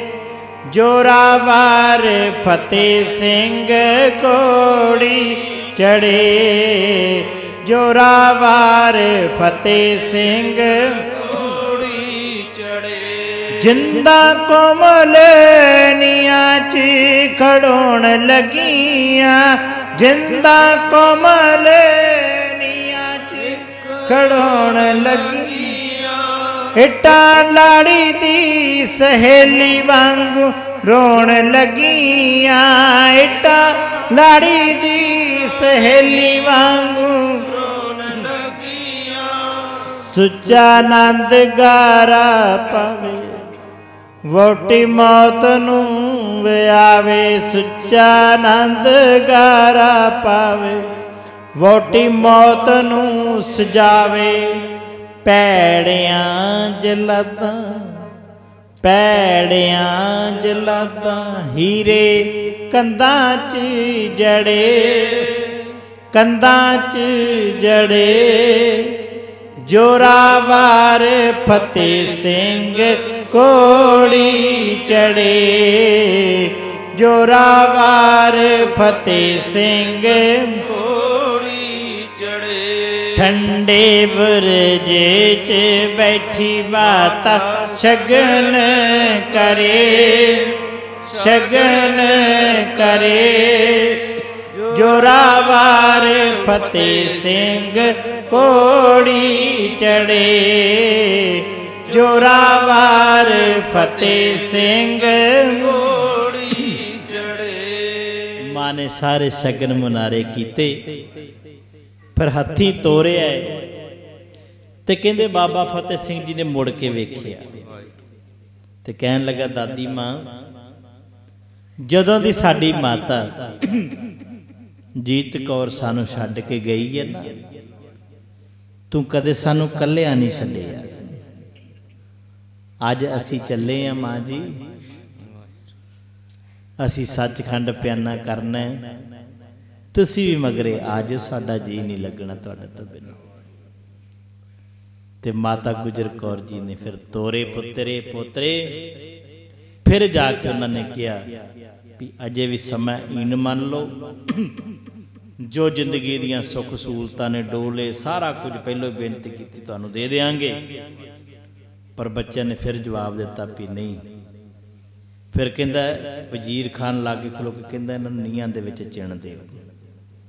ਨੀਆਂ ਦੇ ਵਿੱਚ ਚਿਣ ਲੱਗਿਆ, ਇੱਟ ਰੱਖੀ ਹੈ। ਹੁਣ ਪਿਛਲੇ ਪੈਰ 'ਚ ਇੱਟ ਰੱਖਣੀ ਹੈ ਤੇ ਮਾਫ ਕਰਨਾ, ਪੈਰ ਦੀਆਂ ਅੱਡੀਆਂ ਪਿੱਛੇ ਹੁੰਦੀਆਂ ਨੇ। ਤੇ ਜਦੋਂ ਅੱਡੀਆਂ ਦੇ ਲਾਗੂ ਇੱਟ ਤੋੜਨ ਲੱਗੇ, ਤੇ ਬਾਬਾ ਫਤਿਹ ਸਿੰਘ ਸਾਹਿਬ ਤੇ ਬਾਬਾ ਜੋਰਾਵਰ ਸਿੰਘ ਸਾਹਿਬ ਨੇ ਕਹਿ ਦਿੱਤਾ, ਜਲਾਦ ਨੂੰ ਕਹਿੰਦਾ, ਇੱਟ ਤੋੜਨ ਦੀ ਲੋੜ ਨਹੀਂ। ਜਿਹੜੀ ਅਸੀਂ ਨੀਂਹ ਰੱਖਣੀ ਹੈ ਨਾ, ਉਹ ਚ ਟੁੱਟੀ ਇੱਟ ਨਹੀਂ ਚਾਹੀਦੀ। ਸਾਡੇ ਗਿੱਟੇ ਵੜ ਦਿੱਤੇ ਜਾਣ। ਫਿਰ ਕਹਿੰਦੇ ਗਿੱਟੇ ਵੱਡੇ ਬੱਚਿਆਂ ਦੇ। ਤੇ ਇਹ ਵਜ਼ੀਰ ਖਾਨ ਨੇ ਵੀ ਕਿਹਾ ਸੀਗਾ।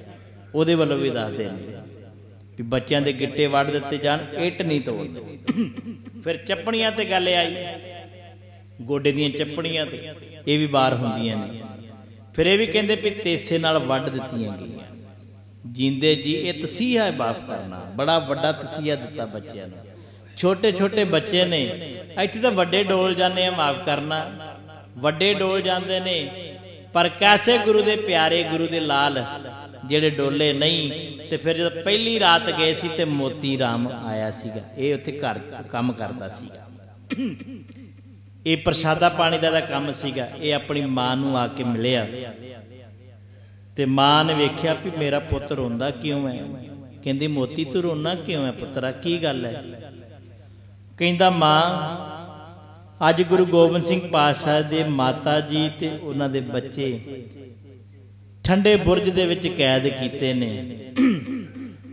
ਤੇ ਮੈਂ ਗੁਰੂ ਦਾ ਸਿੱਖਾ ਤੇ ਮੈਨੂੰ ਪਤਾ ਲੱਗਾ ਵੀ ਉਹਨਾਂ ਨੇ ਕਿੰਨੇ ਦਿਨ ਹੋ ਗਏ ਛਕਿਆ, ਕੁਝ ਨਹੀਂ। ਤੇ ਮੇਰਾ ਮਨ ਕਰਦਾ ਵੀ ਮੈਂ ਉਹਨਾਂ ਨੂੰ ਕੁਝ ਸਿਖਾਵਾਂ ਤੇ ਮਾਂ ਕਹਿੰਦੀ, ਇਹ ਪੁੱਤ, ਇਹਦੋਂ ਵੱਡਾ ਪੁੰਨ ਕਿਹੜਾ ਹੋ ਸਕਦਾ ਤੇਰਾ ਜੋ ਮਨ ਕਰਦਾ ਕਰ ਲੈ। ਫਿਰ ਮਾਂ ਨੂੰ ਲਾਗੇ ਬਿਠਾ ਕੇ ਕਹਿੰਦਾ ਹੈ, ਆਪਣੀ ਘਰ ਵਾਲੀ ਨੂੰ ਵੀ ਲਾਗੇ ਬਿਠਾਇਆ ਵੀ ਤੁਹਾਡੀ ਮਨਜ਼ੂਰੀ ਹੈ। ਕਹਿੰਦੀ, ਹਾਂ। ਕਹਿੰਦੇ, ਫਿਰ ਰਿਸ਼ਵਤ ਦੇਣੀ ਪੈਣੀ ਹੈ। ਉਹ ਕਹਿੰਦੀ, ਜੀ, ਇਹ ਗਹਿਣੇ ਲੈ ਲਓ, ਜਿੰਨੇ ਹੈਗੇ ਨੇ ਮੇਰੇ ਕੋਲ। ਰਿਸ਼ਵਤ ਦੇ ਦਿਓ। ਨਾਲੇ ਵੀ ਕਹਿ ਦਿੱਤਾ ਵੀ ਸ਼ਾਇਦ ਸਾਨੂੰ ਇਹ ਦੁੱਧ ਮਹਿੰਗਾ ਵੀ ਪੈ ਸਕਦਾ ਹੈ। ਮਾਤਾ ਜੀ, ਸਾਨੂੰ ਜਾਨ ਵੀ ਦੇਣੀ ਪੈ ਸਕਦੀ ਤੇ ਮਾਂ ਨੇ ਕਿਹਾ ਸੀ, ਪੁੱਤਰਾ, ਕੋਈ ਗੱਲ ਨਹੀਂ। ਜੇ ਤੇਰਾ ਗੁਰੂ ਹੈ ਤਾਂ ਸਾਡਾ ਵੀ ਗੁਰੂ ਹੈ, ਕਿਉਂਕਿ ਪੰਜਾਂ ਪਿਆਰਿਆਂ ਦੇ ਵਿੱਚੋਂ ਇਹਨਾਂ ਦੀ ਅੰਸ਼ ਬੰਸ ਚੱਲਦੀ ਆਉਂਦੀ ਸੀ। ਰੋਹ ਵਿਚਾਰ। ਕਹਿੰਦੇ, ਪੁੱਤਰਾ, ਸਾਨੂੰ ਮਨਜ਼ੂਰ ਹੈ। ਫਿਰ ਕਹਿੰਦੇ ਨੇ ਨਾ ਜਲਾਦ ਜਿਹੜੇ ਸੀ ਨਾ, ਪਹਿਰੇ ਦਿੱਤੇ ਉਹਨਾਂ ਨੂੰ ਪੈਸੇ ਦਿੱਤੇ, ਸੋਨਾ, ਸਭ ਕੁਝ ਦੇ ਕੇ ਉਹਨਾਂ ਨੂੰ ਕਹਿਤਾ ਵੀ ਜਿੰਨੇ ਦਿਨ ਮਾਤਾ ਜੀ ਰਹਿਣਗੇ, ਮੈਂ ਰੋਜ਼ ਆਉਣਾ ਹੈ ਤੇ ਰੋਜ਼ ਦੁੱਧ ਛਕਾਉਣਾ ਹੈ। ਮੈਨੂੰ ਰੋਕਣਾ ਨਹੀਂ। ਉਹ ਕਹਿੰਦੇ, ਭਾਈ, ਆ ਜਾਈ। ਪਰ ਬਚ ਬਚਾ ਕੇ ਇਸ ਟਾਈਮ ਆਈ, ਉਦੋਂ ਕੋਈ ਨਹੀਂ ਹੁੰਦਾ। ਵੀ ਸਾਡੀ ਨੌਕਰੀ ਨੂੰ ਨਾ ਖਤਰਾ ਹੋਵੇ। ਇਹਨੇ ਫਿਰ ਆਉਣਾ ਤੇ ਜਦੋਂ ਪਹਿਲੇ ਦਿਨ ਦੁੱਧ ਲੈ ਕੇ ਗਿਆ ਸੀ ਨਾ, ਦੱਬੇ ਪੈਰੀ ਗਿਆ ਹੌਲੀ ਹੌਲੀ ਜਦੋਂ ਕਮਰੇ 'ਚ ਉੱਤੇ ਪ੍ਰਵੇਸ਼ ਕੀਤਾ, ਤੇ ਮਾਤਾ ਜੀ ਬੈਠੇ ਨੇ ਆਪਣੇ ਪੋਤਰਿਆਂ ਦੇ ਨਾਲ। ਇਹਨੇ ਜਦੋਂ ਵੇਖਿਆ, ਤੇ ਮਾਤਾ ਜੀ ਕਹਿੰਦੇ, ਕੌਣ ਹੈ? ਕਹਿੰਦਾ ਜੀ, ਮੋਤੀ ਰਾਮ। ਪਹਿਲੇ ਤਾਂ ਕਹਿੰਦੇ, ਨਮਸਕਾਰ ਕੀਤੀ ਨੇ ਲੰਮੇ ਪੈ ਕੇ ਡੰਡੇ ਵਾਂਗੂ। ਤੇ ਫਿਰ ਕਹਿਣ ਲੱਗਾ, ਜੇ ਮੈਨੂੰ ਇੰਜ ਨਾ ਸਮਝਿਓ, ਬੇਸ਼ੱਕ ਤਾਂ ਮੈਂ ਇਸ ਘਰ 'ਚ ਸੇਵਾ ਕਰਦਾ, ਵਜ਼ੀਰ ਖਾਨ ਦਾ ਮੈਂ ਨੌਕਰ ਆ। ਪਰ ਮੈਂ ਗੁਰੂ ਦਾ ਸਿੱਖ ਵੀ ਆ। ਤੁਹਾਨੂੰ ਗੁਰੂ ਗੋਬਿੰਦ ਸਿੰਘ ਪਾਤਸ਼ਾਹ ਜੀ ਦਾ। ਮੇਰੇ ਤੇ ਸ਼ੱਕ ਨਾ ਕਰਿਓ, ਮੈਂ ਤੁਹਾਡੇ ਵਾਸਤੇ ਦੁੱਧ ਲੈ ਕੇ ਆਇਆ ਜਰੂਰ ਛਕਿਓ। ਤੇ ਮਾਤਾ ਜੀ ਕਹਿੰਦੇ, ਸਾਨੂੰ ਪਤਾ ਹੈ, ਤੂੰ ਦੁੱਧ ਛਕਾ। ਦੁੱਧ ਛਕਿਆ। ਤੇ ਨਾਲ ਕਹਤਾ, ਮੋਤੀ ਰਾਮ ਵੇਖੀ ਤੈਨੂੰ ਦੁੱਧ ਮਹਿੰਗਾ ਪੈ ਸਕਦਾ ਤੈਨੂੰ ਦੁੱਧ ਮਹਿੰਗਾ ਪੈ ਸਕਦਾ ਕਹਿੰਦਾ ਕੁਝ ਵੀ ਹੋ ਜਾਏ। ਮੈਂ ਤੁਹਾਨੂੰ ਦੁੱਧ ਛਕਾ ਲਿਆ।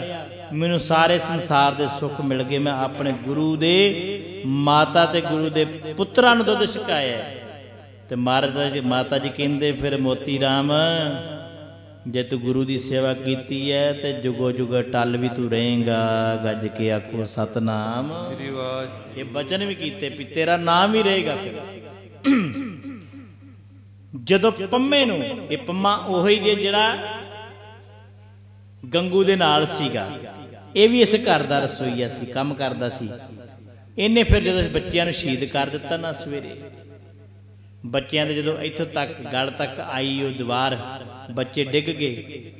ਡਿੱਗਣ ਤੋਂ ਬਾਅਦ ਫਿਰ ਸ਼ਾਸਲ ਬੇਗ ਤੇ ਬਾਸਲ ਬੇਗ ਤਿੰਨ ਜਾਣੇ ਨੂੰ ਕਹਿੰਦੇ ਕਿਹਾ ਸੀ ਵੀ ਬੱਚਿਆਂ ਦਾ ਸੀਸ ਲਾਉਣੇ ਨੇ, ਧੌਣ ਲਾਉਣੀ ਹੈ। ਕੋਈ ਮੰਨਦਾ ਨਹੀਂ ਸੀ ਵੀ ਅਸੀਂ ਬੱਚਿਆਂ ਨੂੰ ਨਹੀਂ ਸ਼ਹੀਦ ਕਰ ਸਕਦੇ। ਇਹ ਦੋਵੇਂ ਭਰਾ ਫਿਰ ਆਏ ਸੀਗੇ। ਇਹਨਾਂ ਦੋਵਾਂ ਭਰਾਵਾਂ ਨੇ ਜਲਾਲੂਦੀਨ ਦੇ ਦੱਸਦੇ ਨੇ ਪੋਤਰੇ ਸੀਗੇ। ਮੈਂ ਭਤੀਜੇ ਸਮਝਦਾ ਸਾਂ, ਕਹਿੰਦੇ ਪੋਤਰੇ ਸੀ ਲੱਗਦੇ ਇਹ। ਤੇ ਮਾਫ ਕਰਨਾ, ਇਹਨਾਂ ਨੇ ਕਿਹਾ ਵੀ ਸਾਡਾ ਕੇਸ ਚੱਲਦਾ ਹੈ, ਉਹ ਸਾਡੇ ਹੱਕ 'ਚ ਕਰ ਦਿਓ, ਬੱਚਿਆਂ ਦੇ ਕਤਲ ਅਸੀਂ ਕਰ ਦਾਂਗੇ। ਕਹਿੰਦੇ ਚਲੋ ਠੀਕ ਹੈ। ਕਹਿੰਦੇ ਜਦ ਬੱਚੇ ਡਿੱਗੀ ਹੈ ਦੀਵਾਰ, ਫਿਰ ਉਹਨਾਂ ਦੀਆਂ ਤਲੀਆਂ ਝਸ ਕੇ ਉਹਨਾਂ ਨੂੰ ਫਿਰ ਸੁਰਜੀਤ ਕੀਤਾ ਤੇ ਫਿਰ ਪੁੱਛਦਾ ਵਜ਼ੀਰ ਖਾਨ ਵੀ ਅਜੇ ਵੀ ਮੰਨ ਜਾਓ। ਜਦੋਂ ਨਹੀਂ ਮੰਨੇ, ਫਿਰ ਇਹਨੂੰ ਸ਼ਾਸਲ ਬੇਗ ਤੇ ਬਾਸਲ ਬੇਗ ਨੂੰ ਕਿਹਾ ਸੀ ਵੀ ਇਹਨਾਂ ਦੀਆਂ ਧੌਣਾ ਕੱਟ ਦਿੱਤੀਆਂ ਜਾ ਫਿਰ ਛਾਤੀ ਤੇ ਬਹਿ ਕੇ ਉਹਨਾਂ ਦੋਵਾਂ ਨੇ, ਉਹਨਾਂ ਦਾ ਆਪਣਾ ਕਿੰਨਾ ਭਾਰ ਹੋਵੇਗਾ? 7 ਸਾਲ ਦਾ ਬੱਚਾ ਮਾਸੂਮ ਮਾਫ ਕਰਨਾ।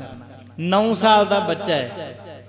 ਇਹ ਤਕੜੇ ਜਲਾਦ ਉਹਨਾਂ ਦੀ ਛਾਤੀਆਂ ਤੇ ਬਹਿ ਕੇ ਫਿਰ ਇਹਨਾਂ ਨੇ ਹੌਲੀ ਹੌਲੀ ਕਲਮਾ ਪੜ੍ਹ ਕੇ ਧੌਣਾ ਵੱਡੀਆਂ ਨੇ ਉਹਨਾਂ ਦੀਆਂ। ਫਿਰ ਸਾਰ ਅੱਗ ਵੱਡੀ ਹੈ। ਫਿਰ ਬੱਚੇ ਜਿਹੜੇ ਸੀ ਨਾ, ਕਹਿੰਦੇ ਬਾਬਾ ਜੋਰਾਵਰ ਸਿੰਘ, ਢਾਈਆਂ ਮਿੰਟਾਂ ਦੇ ਵਿੱਚ ਸ਼ਹੀਦ ਹੋਏ ਸੀ। ਢਾਈਆਂ ਮਿੰਟਾਂ ਬਾਅਦ ਉਹਨਾਂ ਦੇ ਹੱਥ ਪੈਰ ਹਿੱਲਣੋਂ ਬੰਦ ਹੋ ਗਏ। ਪਰ ਧੰਨ ਬਾਬਾ ਫਤਿਹ ਸਿੰਘ ਸਾਹਿਬ, ਜਿਹੜੇ ਛੋਟੇ ਸੀਗੇ 12.5 ਮਿੰਟ ਕਹਿੰਦੇ ਨੇ, ਅੱਧੀ ਘੜੀ ਉਹ ਪੈਰ ਉਹਨਾਂ ਦੇ ਹਿੱਲਦੇ ਰਹੇ, ਹੱਥ ਉਹਨਾਂ ਦੇ ਹਿੱਲਦੇ ਰਹੇ। ਭਾਵ ਕਿ 12.5 ਮਿੰਟ ਜਿਉਂਦੇ ਰਹੇ। ਉਦੋਂ ਬਾਅਦ ਜਿਉਂ ਜਿਉਂ ਖੂਨ ਨਿਕਲਦਾ ਗਿਆ, ਫਿਰ ਤਿਉਂ ਤਿਉਂ ਉਹਨਾਂ ਦੇ ਸਵਾਸ ਉਸ ਪਰਮੇਸ਼ਰ ਦੇ ਵਿੱਚ ਲੀਨ ਹੋਣਾ ਕੀਤੇ ਤੇ ਮਾਫ ਕਰਨਾ। ਇਸ ਤਰ੍ਹਾਂ ਉਹਨਾਂ ਨੇ ਸਿੱਧੀ ਪ੍ਰਾਪਤ ਕੀਤੀ। ਜੋ ਦੋ ਕੁ ਦਿਨ ਲੰਘੇ ਨਾ, ਤੇ ਕਿਸੇ ਨੇ ਦੱਸ ਦਿੱਤਾ, ਪੰਮੇ ਨੇ ਜਾ ਕੇ ਵਜ਼ੀਰ ਖਾਨ ਨੂੰ ਵੀ ਤੁਹਾਡਾ ਜਿਹੜਾ ਘਰ ਦਾ ਸੇਵਾਦਾਰ ਹੈ ਮੋਤੀ ਰਾਮ ਇਹਨੇ ਮਾਤਾ ਜੀ ਦੇ ਬੱਚਿਆਂ ਨੂੰ ਦੁੱਧ ਛਕਾਇਆ ਹੈ। ਤੁਸੀਂ ਕਿਹਾ ਸੀ ਖਵਾਉਣਾ ਕੁਝ ਨਹੀਂ, ਤੇ ਸੀਆ। ਤੇ ਕਹਿੰਦੇ ਫੜ ਕੇ ਲਿਆਓ। ਤੇ ਮਾਫ ਕਰਨਾ। ਪਹਿਲੋਂ ਇਹਨਾਂ ਦੀ ਮਾਤਾ ਲੱਦੋ ਜੀ ਨੂੰ ਜਾ ਕੇ ਕੁੱਲ ਚ ਪੀੜਿਆ।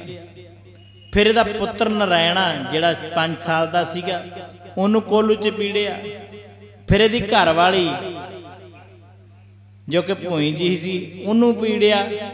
ਫਿਰ ਮੋਤੀ ਰਾਮ ਮਹਿਰੇ ਨੂੰ ਕੋਲੂ ਚ ਪੀੜਿਆ ਗਿਆ, ਮਾਫ ਕਰਨਾ। ਕੈਸਾ ਪਰਿਵਾਰ ਸੀਗਾ? ਕੋਲੂ ਚ ਪੀੜਨਾ ਸਮਝਦੇ ਜੇ? ਸਿਰਫ ਖੂਨ ਨਿਕਲਦਾ ਹੈ, ਮਿੱਝ ਨਿਕਲਦੀ ਹੈ ਉਹਦੇ ਵਿੱਚ, ਜਦੋਂ ਚੀਰਦੇ ਨੇ ਨਾ, ਪੀੜਦੇ ਨੇ ਬੰਦੇ ਨੂੰ, ਮਾਫ ਕਰਨਾ। ਬੰਦੇ ਦੀਆਂ ਹੱਡੀਆਂ ਵੀ ਨਹੀਂ ਲੱਭਦੀਆਂ ਉਹਦੇ ਵਿੱਚ, ਸਭ ਵਿੱਚੇ ਮਲੀਆਂ ਜਾਂਦੀਆਂ ਨੇ, ਸਿਰਫ ਮਿੱਝ ਨਿਕਲਦੀ ਹੈ। ਐਸਾ ਤਸੀਆ ਦਿੱਤਾ, ਪਰ ਇੱਕ ਵਾਰੀ ਵੀ ਸੀ ਨਹੀਂ ਕੀਤੀ। ਜੇ ਅਸੀਂ ਅੱਜ ਮੰਨਦੇ ਹਾਂ ਕਿ ਸਰਹੰਦ ਦੀ ਧਰਤੀ ਤੇ ਮੁੜ ਕੇ ਟੋਡਰ ਮਲ ਨੇ ਮੋਹਰਾਂ ਵਿਛਾ ਕੇ ਉਹ ਧਰਤੀ ਨੂੰ ਖਰੀਦਣਾ ਕੀਤਾ ਹੈ। ਜੇ ਅੱਜ ਉਹਦੀ ਕੀਮਤ ਅਸੀਂ ਦੱਸਦੇ ਹਾਂ ਕਿ 2.5 ਅਰਬ ਰੁਪਈਆ ਬਣਦਾ ਹੈ, ਸਭ ਤੋਂ ਸੰਸਾਰ ਤੇ ਮਹਿੰਗੀ ਜ਼ਮੀਨ ਜਿਹੜੀ ਹੈ, ਇਥੋਂ ਦੀ ਹੈ। ਭਾਵ ਕਿ ਇੱਥੇ ਵਿਕੀ ਹੈ ਤੇ ਮਾਫ ਕਰਨਾ, ਸਭ ਤੋਂ ਮਹਿੰਗਾ ਦੁੱਧ ਵੀ ਸਰਹੰਦ 'ਚ ਹੀ ਵਿਕਿਆ ਜੀ। ਕਿੰਨਾ ਕੁ ਦੁੱਧ ਮਹਿੰਗਾ ਲਵਾਂਗੇ? 100 ਲੈ ਲਾਂਗੇ 200 ਲੈ 500 ਰੁਪਏ ਵੀ ਲੈ ਲਾਂਗੇ। ਪਰ ਕਦੀ ਵੇਖਿਆ ਵੀ 1 ਕਿਲੋ ਜਾਂ 2 ਕਿਲੋ ਦੁੱਧ ਵਾਸਤੇ ਕਿਸੇ ਦੀ ਜਾਨ ਗਈ ਹੋਵੇ? ਚਾਰ ਪਰਿਵਾਰਾਂ ਦੀ ਜਾਨ ਗਈ ਹੈ, ਮਾਫ ਕਰਨਾ। ਜਿਨ੍ਹਾਂ ਨੇ ਸ਼ਹੀਦੀਆਂ ਪ੍ਰਾਪਤ ਕੀਤੀਆਂ ਨੇ। ਮਾਫ ਕਰਨਾ। ਆਓ, ਇੱਕ ਪੰਕਤੀ ਪੜ੍ਹ ਕੇ ਨਾਲ ਫਿਰ ਸਮਾਪਤੀ ਕਰੀਏ।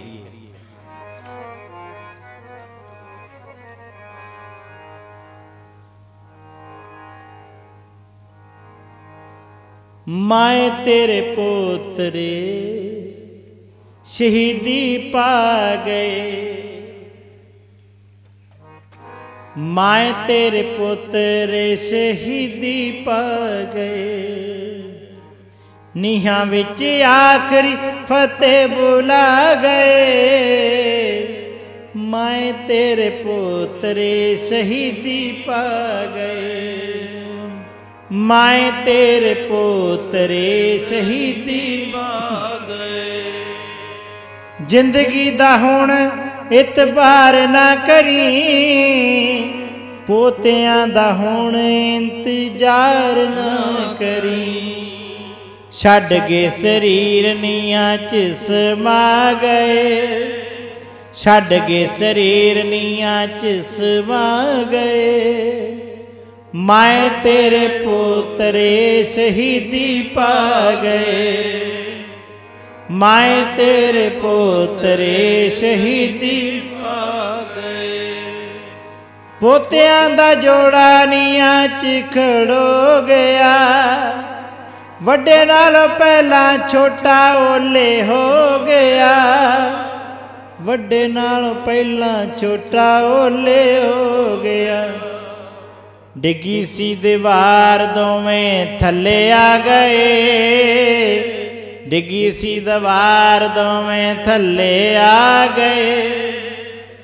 ਮਾਏ ਤੇਰੇ ਪੋਤਰੇ ਸ਼ਹੀਦੀ ਪਾ ਗਏ।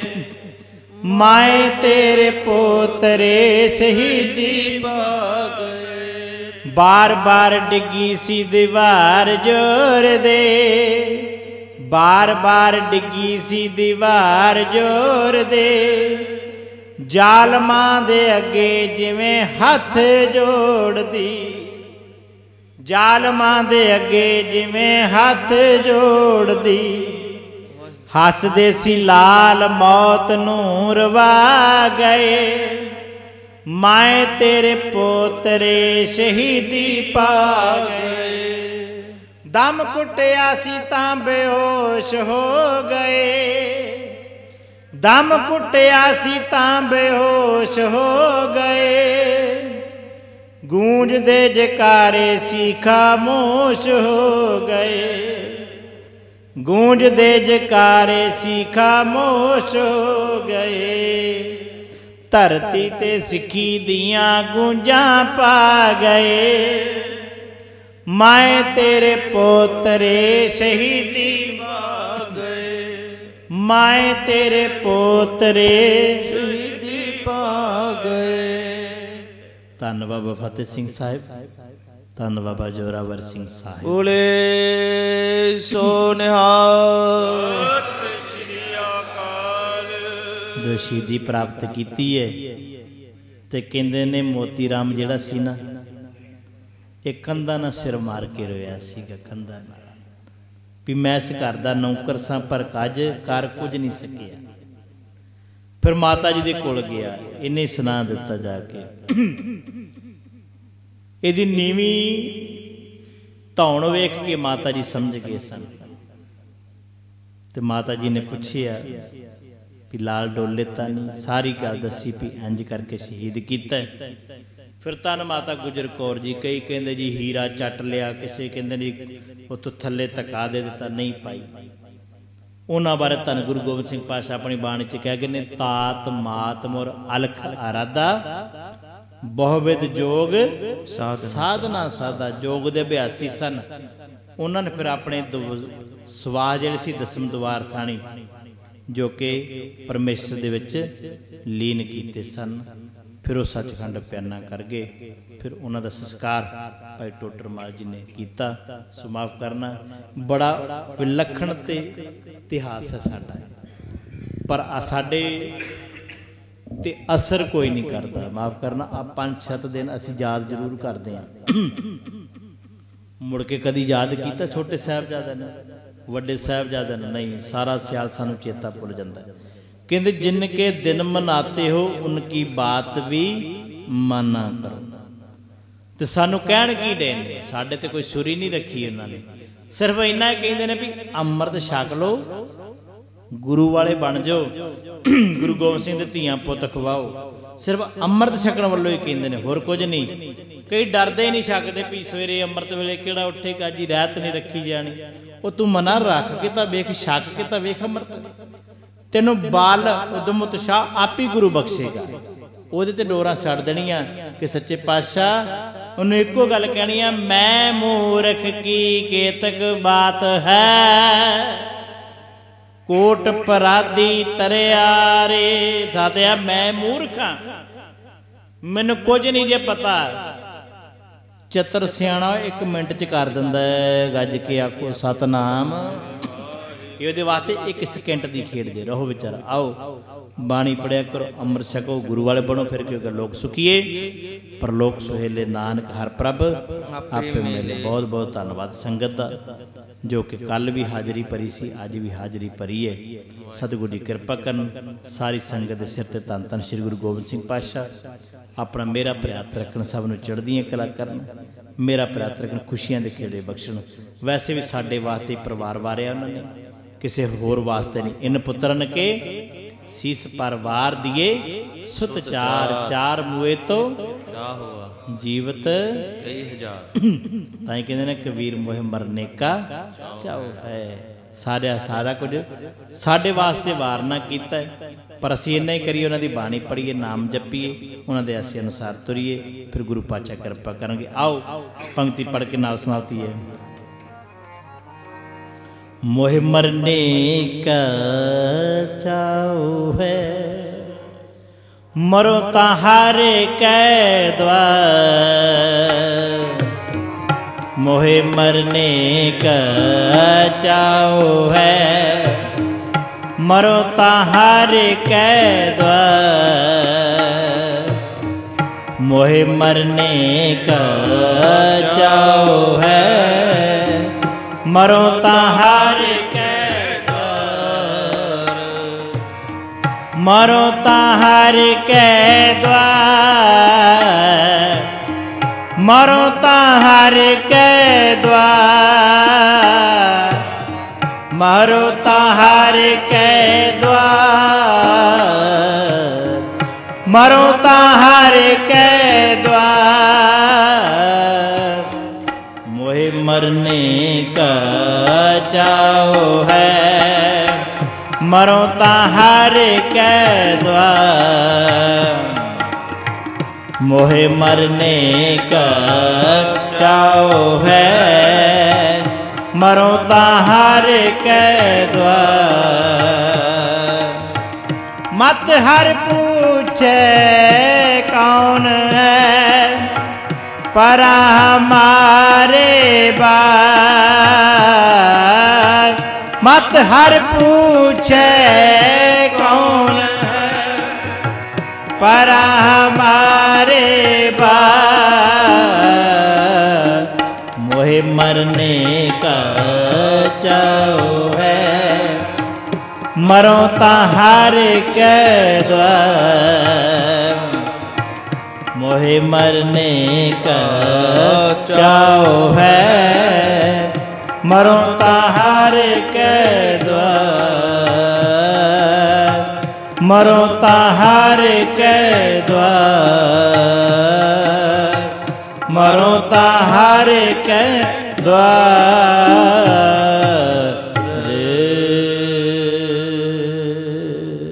आओ इतनी हाजिरी प्रवान करनी ਧੰਨ ਧੰਨ ਬਾਬਾ। ਜੋਰਾਵਰ ਸਿੰਘ ਜੀ ਧੰਨ ਧੰਨ ਬਾਬਾ ਫਤਿਹ ਸਿੰਘ ਜੀ ਧੰਨ ਧੰਨ ਮਾਤਾ। ਗੁਜਰ ਕੌਰ ਜੀ, ਅੱਜ ਦਾ ਦਿਨ ਸੀ ਵੈਸੇ ਤਾਂ ਹੁਣ। ਐਲਾਨ ਕੀਤਾ ਸੀ ਵੀ 10 ਤੋਂ ਲੈ ਕੇ 11 ਵਜੇ ਤੱਕ। ਪਰ ਜੋ ਪਹਿਲੂ ਦੱਸ ਦਿੰਨੇ ਕਿ ਪੌਣੇ 11 ਤੋਂ 11:30 ਦਾ ਸਮਾਂ ਸੀਗਾ, ਜਦੋਂ ਉਹਨਾਂ ਨੂੰ ਸ਼ਹੀਦ ਕੀਤਾ ਗਿਆ। ਆਓ, ਪੰਜ ਜਕਾਰੇ ਉਹਨਾਂ ਦੇ ਨਾਂ ਤੇ ਛੱਡੇ ਜਾਣ। ਕਰੋ ਕਿਰਪਾ ਬੋਲੇ ਸੋਨਿਹਾਰ। ਸ੍ਰੀ ਅਕਾਲ। ਬੋਲੇ ਸੋ ਨਿਹਾਲ ਸਤਿ ਸ੍ਰੀ ਅਕਾਲ।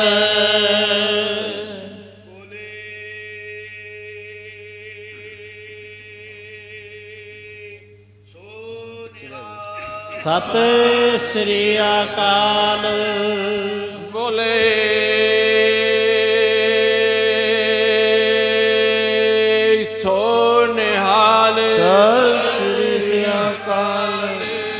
ਜਕਾਰਾ ਭੈਣਾ ਵਿੱਚ ਛੱਡੋ। ਸਤਿ ਸ੍ਰੀ ਅਕਾਲ। ਸਤਿਗੁਰੂ ਦੀ ਕਿਰਪਾ ਕਰਨ ਸਭ ਨੂੰ ਸੁਖ ਬਖਸ਼ਣ। ਆਓ।